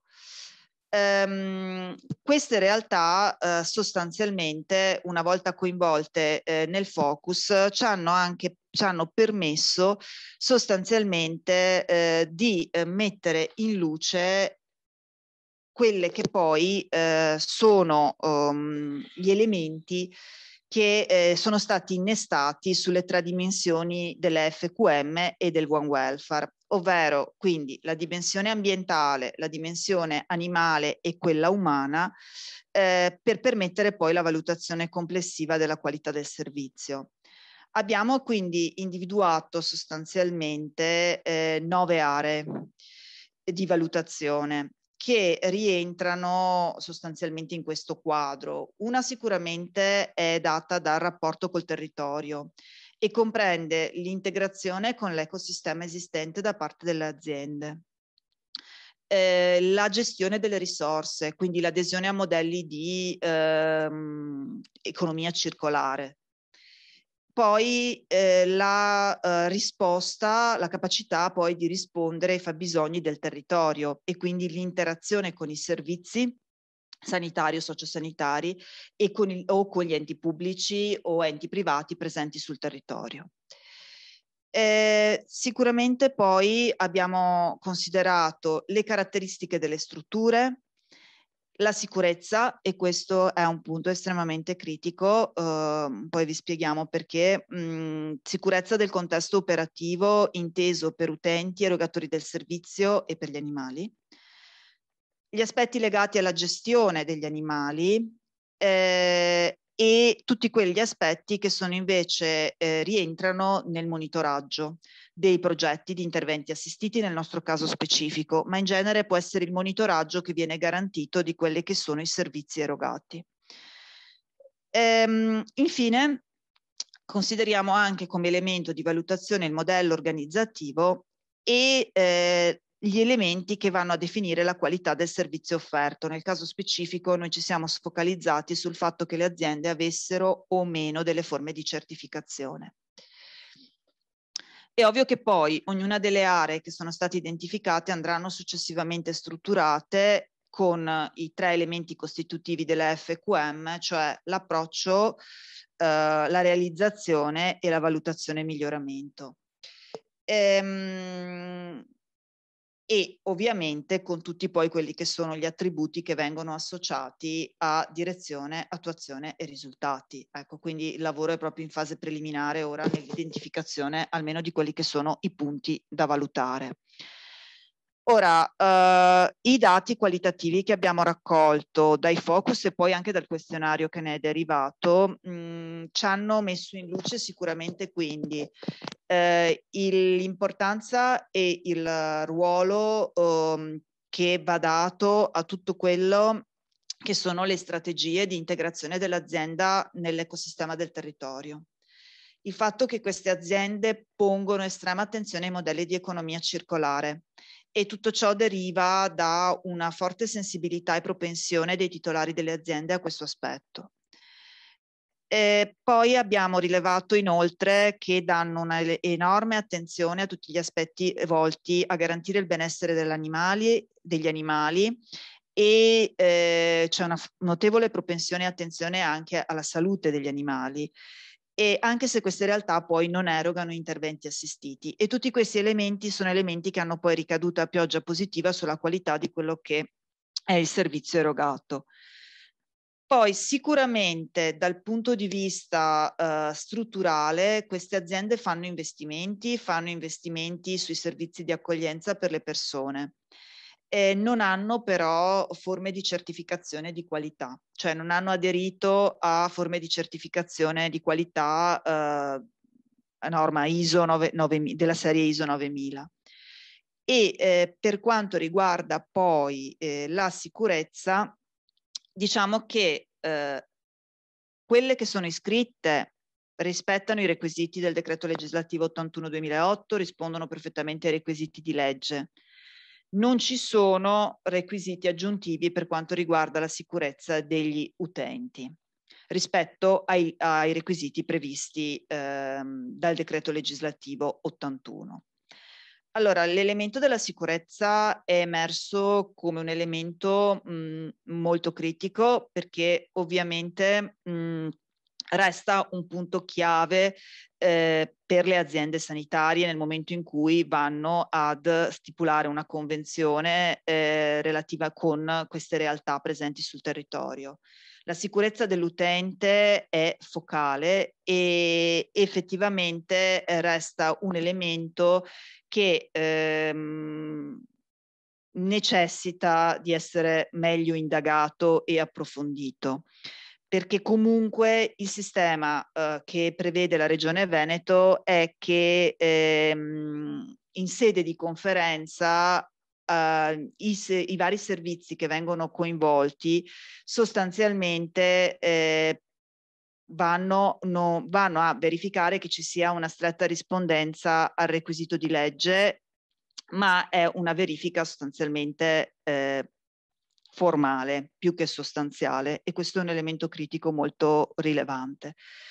Poi abbiamo aspetti eh, legati invece alla mh, sostenibilità ambientale, all'integrazione con l'ecosistema e alla gestione del benessere animale che sono veramente parte integrante di queste strategie aziendali e che eh, dovrebbero essere maggiormente valorizzate poi nel momento in cui si va a fare una valutazione complessiva dell'azienda. Altro elemento di criticità che eh, è stato rilevato, oh, e, ma che è già stato presentato anche dalle relazioni precedenti, quindi vedo che non è una cosa solo del Veneto, ma è una cosa presente anche in altre regioni. Eh, anche da noi le aziende hanno grosse difficoltà a rispondere ai fabbisogni del territorio, anche perché c'è una mancanza di dialogo con i servizi sanitari e sociosanitari questa mancanza di dialogo si ripercuote poi anche nella loro capacità di rispondere, di capire quali sono i fabbisogni e di offrire dei servizi che siano effettivamente funzionali. E, ehm, e quindi ehm, cioè è un elemento chiave che anche attraverso lo sviluppo di questo modello di valutazione vorremmo riuscire a superare. Ehm, il fatto che, eh, come si diceva anche questa mattina nelle relazioni precedenti, eh, tutto dipenda dal funzionario dell'azienda sanitaria nello specifico che ha la sensibilità necessaria per poter capire che quel tipo di servizio può essere un'opportunità, non è ammissibile in un sistema sanitario nazionale che dovrebbe avere una vision volta a offrire eh, all'utenza un valore eh, che eh, effettivamente eh,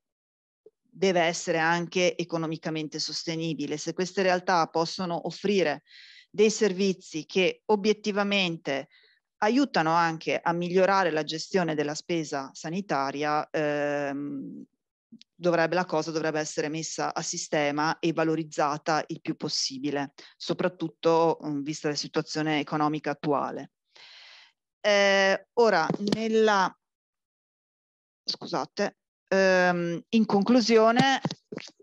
ehm, noi vorremmo portare avanti la riflessione sull'FQM come possibile modello per lo sviluppo di uno schema di valutazione proprio delle attività svolte dalle fattorie sociali. E vorremmo provare a eh, applicare quindi la valutazione su queste sette aree, declinandole poi in approccio realizzazione, valutazione e miglioramento e soprattutto vorremmo riuscire a eh, fare in modo che il modello, così come impostato, eh, ci permetta di eh, creare un qualcosa che sia dal punto di vista della valutazione sostenibile per le aziende, cioè eh, non focalizzarsi su quello che si fa, come si fa generalmente in sanità, ci focalizziamo su un modello standard teorico di eccellenza, ma cerchiamo di basare la nostra valutazione su il meglio possibile rispetto al contesto e alle risorse che ci sono a disposizione. Io vi ringrazio per l'attenzione, lì avete il mio indirizzo email e i miei contatti. Grazie, grazie Laura della, della tua presentazione.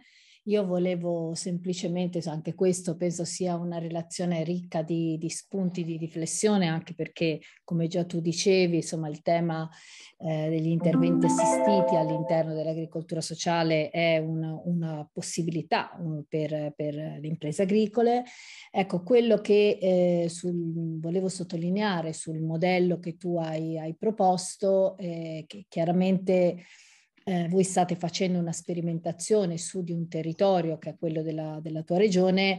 è chiaro che eh, se noi, come dire, io mentre tu lo presentavi, no, stavo pensando alla, alla, variabilità del sistema agricolo a livello nazionale, eh, eh, probabilmente su alcune cose potremo avere delle difficoltà se, eh, come dire, spostato in altri contesti territoriali. Quindi forse eh, potrebbe valere la pena, come dire, un testaggio per poi anche capire, visto che, eh, visto che nel, nella vostra diciamo, ricerca è coinvolta anche un, una delle organizzazioni professionali agricole, ora voi certo. immagino abbiate contatto con quelle del territorio, però potrebbe come dire, essere l'opportunità eh, di, di, coinvolgere queste organizzazioni anche a più ampio respiro, quindi a livello magari nazionale e capire insieme a loro se questo diciamo, modello esteso alle fattorie appunto sociali del, del territorio, alle aziende agricole del territorio, potrebbe essere adattabile a seconda sì. delle, delle, caratteristiche, delle esigenze che esistono nei diversi contesti territoriali. Sì, sicuramente Anche questo... Per il, per il, ruolo, Laura, immagino che voi come centro certo. di ricerca eh, eh, abbiate chiaramente a livello nazionale. Sì. Sì, noi ci siamo focalizzati sul Veneto, mm, ma soprattutto perché eh, come istituto zooprofilattico abbiamo un territorio di competenza che è quello del Triveneto, quindi Veneto, Friuli, Venezia Giulia e Trentino Alto Adige.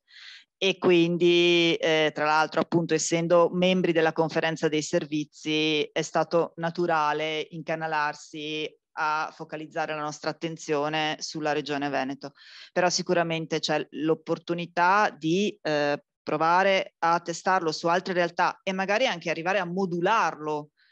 in funzione delle realtà, di altre realtà e ehm, di tessuti socio-economici diversi, perché ovviamente quello che c'è in Veneto non lo troviamo in Toscana e non lo troviamo in Sicilia, ovviamente.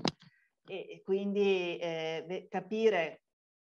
fino a che livello di plasticità possiamo arrivare sul modello sarebbe sicuramente una prospettiva molto interessante e molto utile anche, penso, anche per noi come centro di referenza poi teniamo conto che sì, stiamo muovendo i primi passi in questo settore, quindi stiamo anche cercando di prendere le misure, come si dice. E capire. Ti, ti, ringrazio, ti ringrazio e chiedo appunto se ci sono domande tra gli altri partecipanti.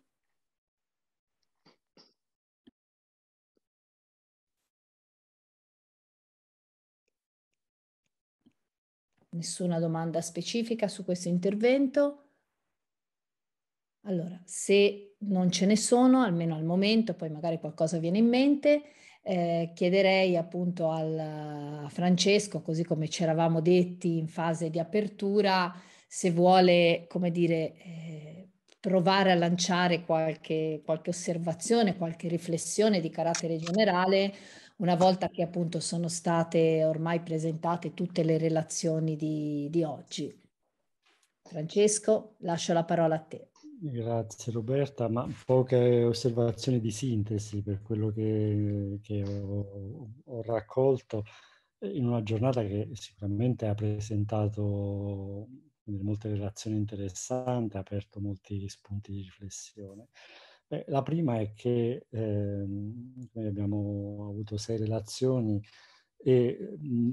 quasi tutte sono molto in divenire e quindi abbiamo necessità e abbiamo interesse ad andare avanti e capire poi quali saranno gli esiti effettivi di queste valutazioni in termini di risultati finali.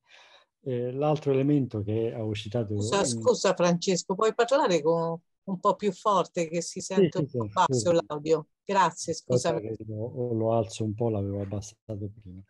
Eh, l'altro elemento è, come emerso dalle presentazioni, i target differenti, quindi in alcuni casi si è parlato pe- più prettamente di inclusione sociale,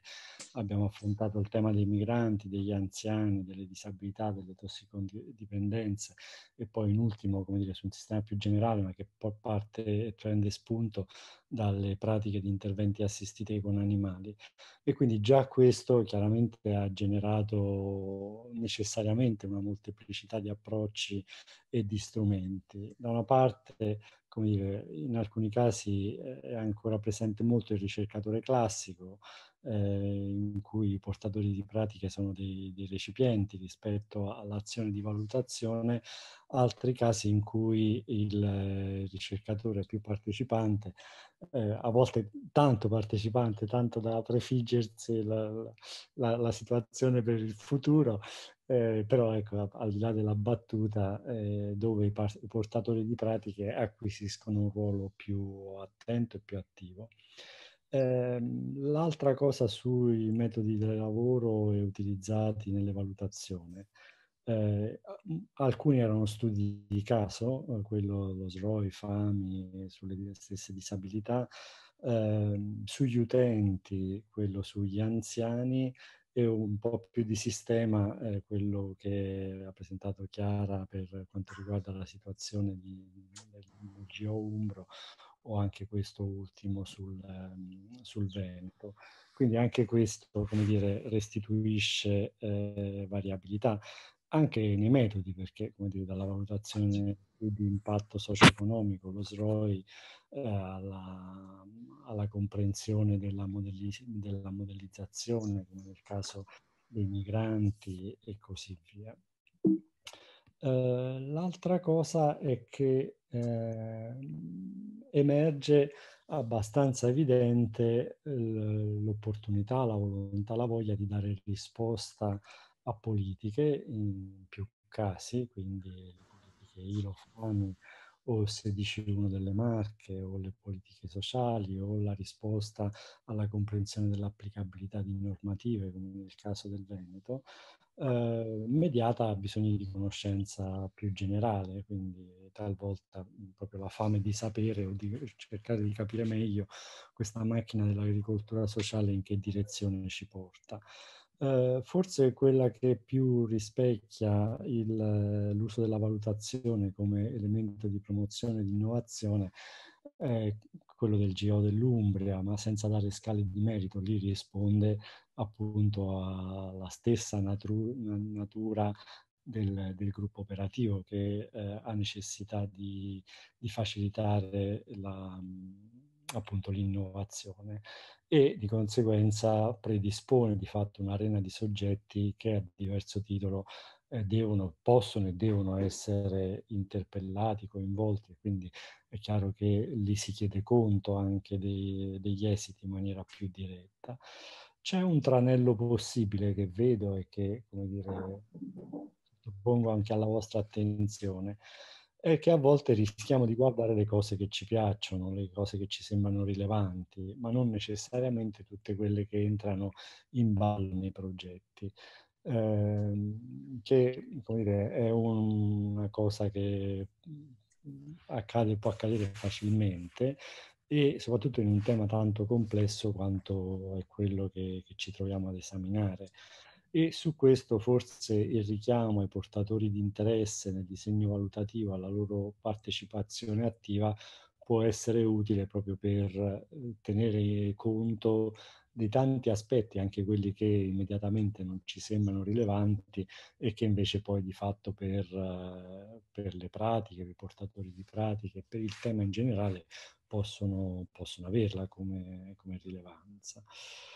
Eh, l'altro aspetto è quello della multidisciplinarità, che chiaramente fa selezione eh, rispetto anche alle pratiche valutative, perché se sono mono, monodisciplinare come competenze in ingresso, rischio di uscire mono, monodisciplinare come esiti e come approcci metodologici. Questo purtroppo però è subordinato molto alla possibilità di riuscire a trovare visioni convergenti tra ricercatori che spesso praticano campi molto distanti.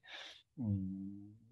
di nuovo il caso del, dell'Università di Perugia, e quando Chiara ci rappresentava il gruppo di donne, il gruppo di donne di, di discipline differenti che possono fare la differenza nell'impostare un processo di, di valutazione. Però ecco, questo talvolta si creano le condizioni utili perché questo avvenga, non sempre le stesse circostanze si realizzano. E poi qualche osservazione più, più in generale, e quindi valutare ma per chi? Perché se effettivamente la valutazione a volte risponde alle politiche, forse questo legame deve essere reso più netto, più evidente, più incisivo eh, perché poi abbiamo necessità di restituire i risultati eh, in maniera altrettanto diretta. E quindi ci pone anche il tema del, della valutazione, della comunicazione rispetto agli esiti. È chiaro che siamo in una sede di un convegno dell'Associazione Italiana di Valutazione e quindi, come dire, in questo momento la restituzione è a un pubblico più vicino, più esperto rispetto a questi temi, eh, però eh, se valutiamo anche in risposta a politiche, a portatori di interesse, a processi, è chiaro che la necessità di rendere, Roberta tirava in ballo il tema della replicabilità e della trasferibilità dei, degli strumenti di valutazione e questo è uno ma anche dire, la capacità di restituire in maniera chiara, evidente e utile gli esiti. Questa è una preoccupazione che forse dobbiamo, dobbiamo porci. È emerso un altro aspetto che è quello della difficoltà dei sistemi locali. Lo, lo, detto, eh, lo hanno detto chiaramente soprattutto chi sta lavorando nei sistemi locali, eh, e eh, qui la domanda eh, è se la valutazione può aiutare da questo punto di vista. L'impressione è che, eh, che, viene restituita da hanno, alcuni di coloro che hanno presentato, è che di fatto manca una cultura dell'innovazione, soprattutto nelle istituzioni, e quindi ci stiamo affidando ad un circuito che è stato stimolato anche dagli innovatori che in qualche modo hanno attivato nel tempo e sono stati capaci di attivare nel tempo politiche che oggi vanno in attuazione. Queste politiche si sono tradotte in strumenti più o meno chiari ed evidenti, quindi quelle del piano di sviluppo rurale o altri strumenti, che rientrano all'interno delle pratiche che noi in qualche modo stiamo valutando, perché poi molte pratiche di quelle che analizzate sono pratiche che tradizionalmente o di recente stanno ricevendo supporti dal punto di vista delle politiche. Eh, questo genera degli apprendimenti che vanno a rafforzare sia gli innovatori sia a restituire eh, informazioni a coloro che quelle politiche le hanno o dovrebbero restituire informazioni a coloro che quelle politiche le hanno generate. Però ecco, siamo un po' dentro questo circuito e dentro questo guado che forse dovremmo comprendere, analizzare e valutare nel momento in cui impostiamo i nostri processi valutativi che risponde appunto alla prima domanda di questa slide. Per chi stiamo valutando, per chi stiamo facendo la valutazione e effettivamente stiamo eh, aiutando, con, consolidando gli innovatori, le politiche nel... Eh, nell'avere quelle risposte che sono utili mano a mano che le pratiche di agricoltura sociale vanno avanti e si diffondono. Ecco, questo, come dire, le mie osservazioni e le mie valutazioni, però chiaramente, chiaramente parziali, lascio a voi altri spunti aggiunte sicuramente migliori di quelle che ho fatto io.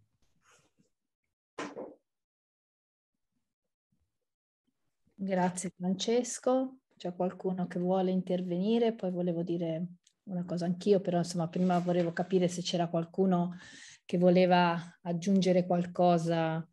eh, rispetto alle, diciamo, alle riflessioni che faceva Francesco. Io pure volevo. Dopo. Posso? Sì, allora Daniela e poi non so chi sia prenotata perché non vedo le mani alzate. Francesca. Francesca, ok. Ma allora... Francesca, prima Francesca. Allora, prima Francesca, vai Francesca. Fa lo stesso, grazie. Eh, no, intanto grazie a tutti gli intervenuti perché veramente è stata una mattinata ricca con tantissimi spunti e prospettive. Eh, condivido anche alcune delle questioni sollevate che sono ancora da come dire, oggetto di discussione, no? gli approcci, le discipline da coniugare, da intersecare per avere anche delle visioni più complesse e complessive eh, del, de, di, di ciò di cui stiamo parlando e stiamo parlando appunto di cose tanto diverse fra loro, no? Anche i casi si sono focalizzati su approcci e, come dire, interpretazioni dell'agricoltura sociale tanto differenti, quindi è difficile. Volevo riprendere uno spunto che, che è venuto fuori forse in più di, di qualche intervento, che è quello della, eh, come dire, comparabilità. Eh, perché da un lato siamo tutti un po' alla ricerca di percorsi che ci permettano di eh, poter valutare o, o, analizzare in maniera approfondita anche pratiche differenti, quindi in qualche modo dei modelli, degli approcci valutativi, ma dall'altro ci concentriamo tutti soltanto sull'agricoltura sociale. Quindi la cosa che forse Francesco ad un certo punto diceva rispetto alla, alla borsa di studio, no? vedere come poi la borsa di studio in agricoltura sociale è diversa da quella fatta in un ufficio, in un negozio di calzature, non lo so, no? in un altro contesto. Ecco, questo sarebbe molto importante mi rendo conto che è difficile perché di nuovo dovremmo andare forse eh, a focalizzare so, solo su uno strumento. Eh, quindi questo a caso la borsa lavoro e provare ad analizzare per una volta eh, gli effetti, non dico arrivare agli impatti, ma quantomeno gli effetti di una borsa lavoro che è stata svolta, costruita, pensata, svolta e analizzata in agricoltura sociale e in un altro contesto, ma così come tante di quelle attività laboratoriali che sono eh, per alcuni versi considerabili come eh, terapia occupazionale, cioè fra il fare ehm, l'agricoltura su un bancale, diciamo così, per persone che hanno una ridotta mobilità, e ridotta capacità lavorativa, e fare quello o fare eh, dei vasi in ceramica, no? anche lì dovremmo analizzare le differenze perché sono entrambe attività occupazionali eh, che forse andrebbero, come dire, isolate dal resto, però poi ho, ho detto una cosa che critico io stesso, cioè isolare queste attività dal contesto risulta anche difficile, però se vogliamo comparare delle cose fatte in agricoltura sociale delle cose fatte altrove, forse dobbiamo avere questo approccio di isolare una parte? Non lo so, è, è, diciamo ci sono riflessioni che, che, pongo agli altri perché io non ho delle risposte, no? eh, eh, mi sembrano delle vie percorribili ma che hanno sempre dei limiti, ma chiaro poi quando uno i limiti li, li, li pone in partenza forse riesce comunque a trarre qualche eh, risultato da questi percorsi. Solo questo. Grazie. Grazie Francesca. Eh, passiamo la parola a Daniela. La mia riflessione è veramente, eh, diciamo, più ampia, nel senso, cioè no, più ampia nel senso che è intesa come agricoltura sociale come oggetto no, di un'economia sostenibile. Quindi mi verrebbe in mente, eh, come proprio per la sua peculiarità, sua, proprio per la sua caratteristica, sua, sia per per tutte le indagini che sono state realizzate in agricoltura sociale, valutare eh, l'impatto sociale dell'agricoltura sociale per, diciamo, per un'economia generativa di comunità potrebbe dare veramente una, un nuovo, potrebbe consentire una sorta, un nuovo impulso. Quindi mh, mm, un, un, nuovo impulso, un nuovo valore veramente sociale di quello che potrebbe essere appunto eh, la, il ruolo degli enti del terzo settore, delle aziende presenti, di cui sono presenti le esperienze dei beneficiari degli interventi che ne sono appunto la componente essenziale. Tutto questo secondo me richiede un approccio veramente interdisciplinare eh, dove appunto presente, dove sono presenti psicologi, dove sono previsti economisti, dove sono previsti statistici, dove sono previsti eh, medici, economisti e quant'altro. Quindi eh, richiede veramente una complessità, se vogliamo dare, eh, fare una valutazione più complessiva, eh, si richiede appunto una, un'angolatura, una visione, non un'angolatura, una visione molto ampia dove veramente dovremmo attivarci mm, eh, proprio come gruppo di interesse sull'agricoltura sociale a, a prendere sotto osservazione ciascuno di questi elementi, considerando appunto la governance, il sistema territoriale e, e, il e la persona proprio in un'ottica proprio di welfare generativo. Questo darebbe un nuovo impulso, voglio dire, anche alla, alla comunità e ai nuovi orientamenti del, del, dell'agenda, dell'agenda 2030. Non so, era una riflessione, non so se sono stata chiara, ma volevo dare questa dimensione di, di, welfare generativo di comunità che secondo me potrebbe eh, attraverso l'agricoltura sociale si potrebbe esplicitare e potrebbe essere, diventare esso stesso una, una sorta di, di, di laboratorio da tenere sotto osservazione, considerando tutti gli aspetti peculiari che lo caratterizzano. Grazie. Spero di essere stata chiara perché ho tentato di mettere insieme più concetti. Assolutamente, grazie Daniela. No, eh, ora mh, rubo 5 minuti 5 eh, semplicemente intanto per condividere quello che in parte dicevi, no? Ed è, eh, penso se, se, vi ricordate la slide introduttiva di Francesco quando parlava di un processo di valutazione multiattoriale. Quindi eh, secondo me questa è la, è la vera sfida no? Del, della valutazione in agricoltura sociale. E quindi alla domanda che Francesco poneva alla fine, ma valutiamo per chi? Cioè forse noi dovremmo, oh, come dire, cercare di capire che la valutazione al di là del singolo progetto, quindi di restituzione dei risultati di un progetto che necessariamente è utile fare, deve servire proprio come momento di apprendimento per cercare di andare a reindirizzare quelle che sono le politiche e lo dobbiamo fare tutti assieme, cioè questo secondo me è l'elemento, è la vera sfida nel campo della valutazione. E guardate, ora visto con la parola dico una cosa così poi non, non intervengo più, il fatto eh, comunque oggi di essere qui, di essere all'interno, come diceva Francesco, di, un, eh, diciamo, di un'associazione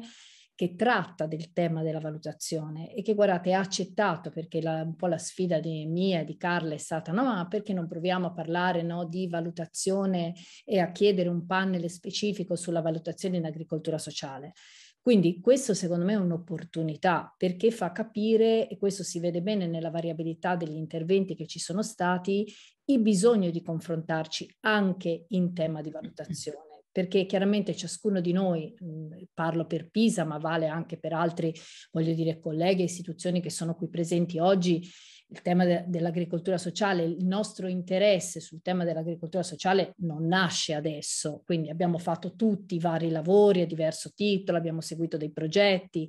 probabilmente quello che è rimasto un pochino indietro e soprattutto lo è rimasto in termini di condivisione di quello che stiamo facendo e, e, trovando, come diceva giustamente Daniela, anche delle sinergie tra di noi, forse proprio il tema della valutazione, sul quale ci sarebbe bisogno di confrontarci ancora tanto e, e mettere a sistema le cose che stiamo facendo proprio per riorientare, e lo ridico un'altra volta perché questo mi sembra strettamente necessario, le politiche, coinvolgendo non solo il mondo eh, così scientifico che è abituato a modelli, eh, schemi, ma anche direttamente i territori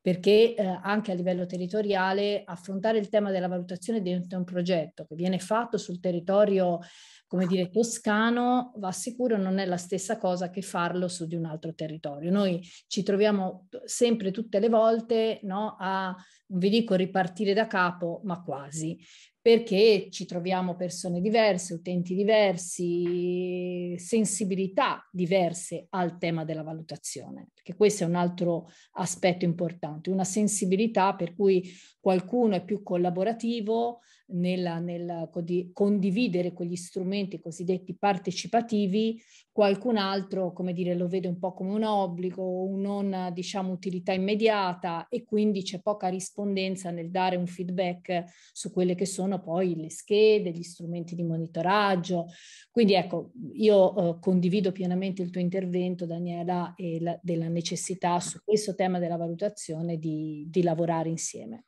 Grazie.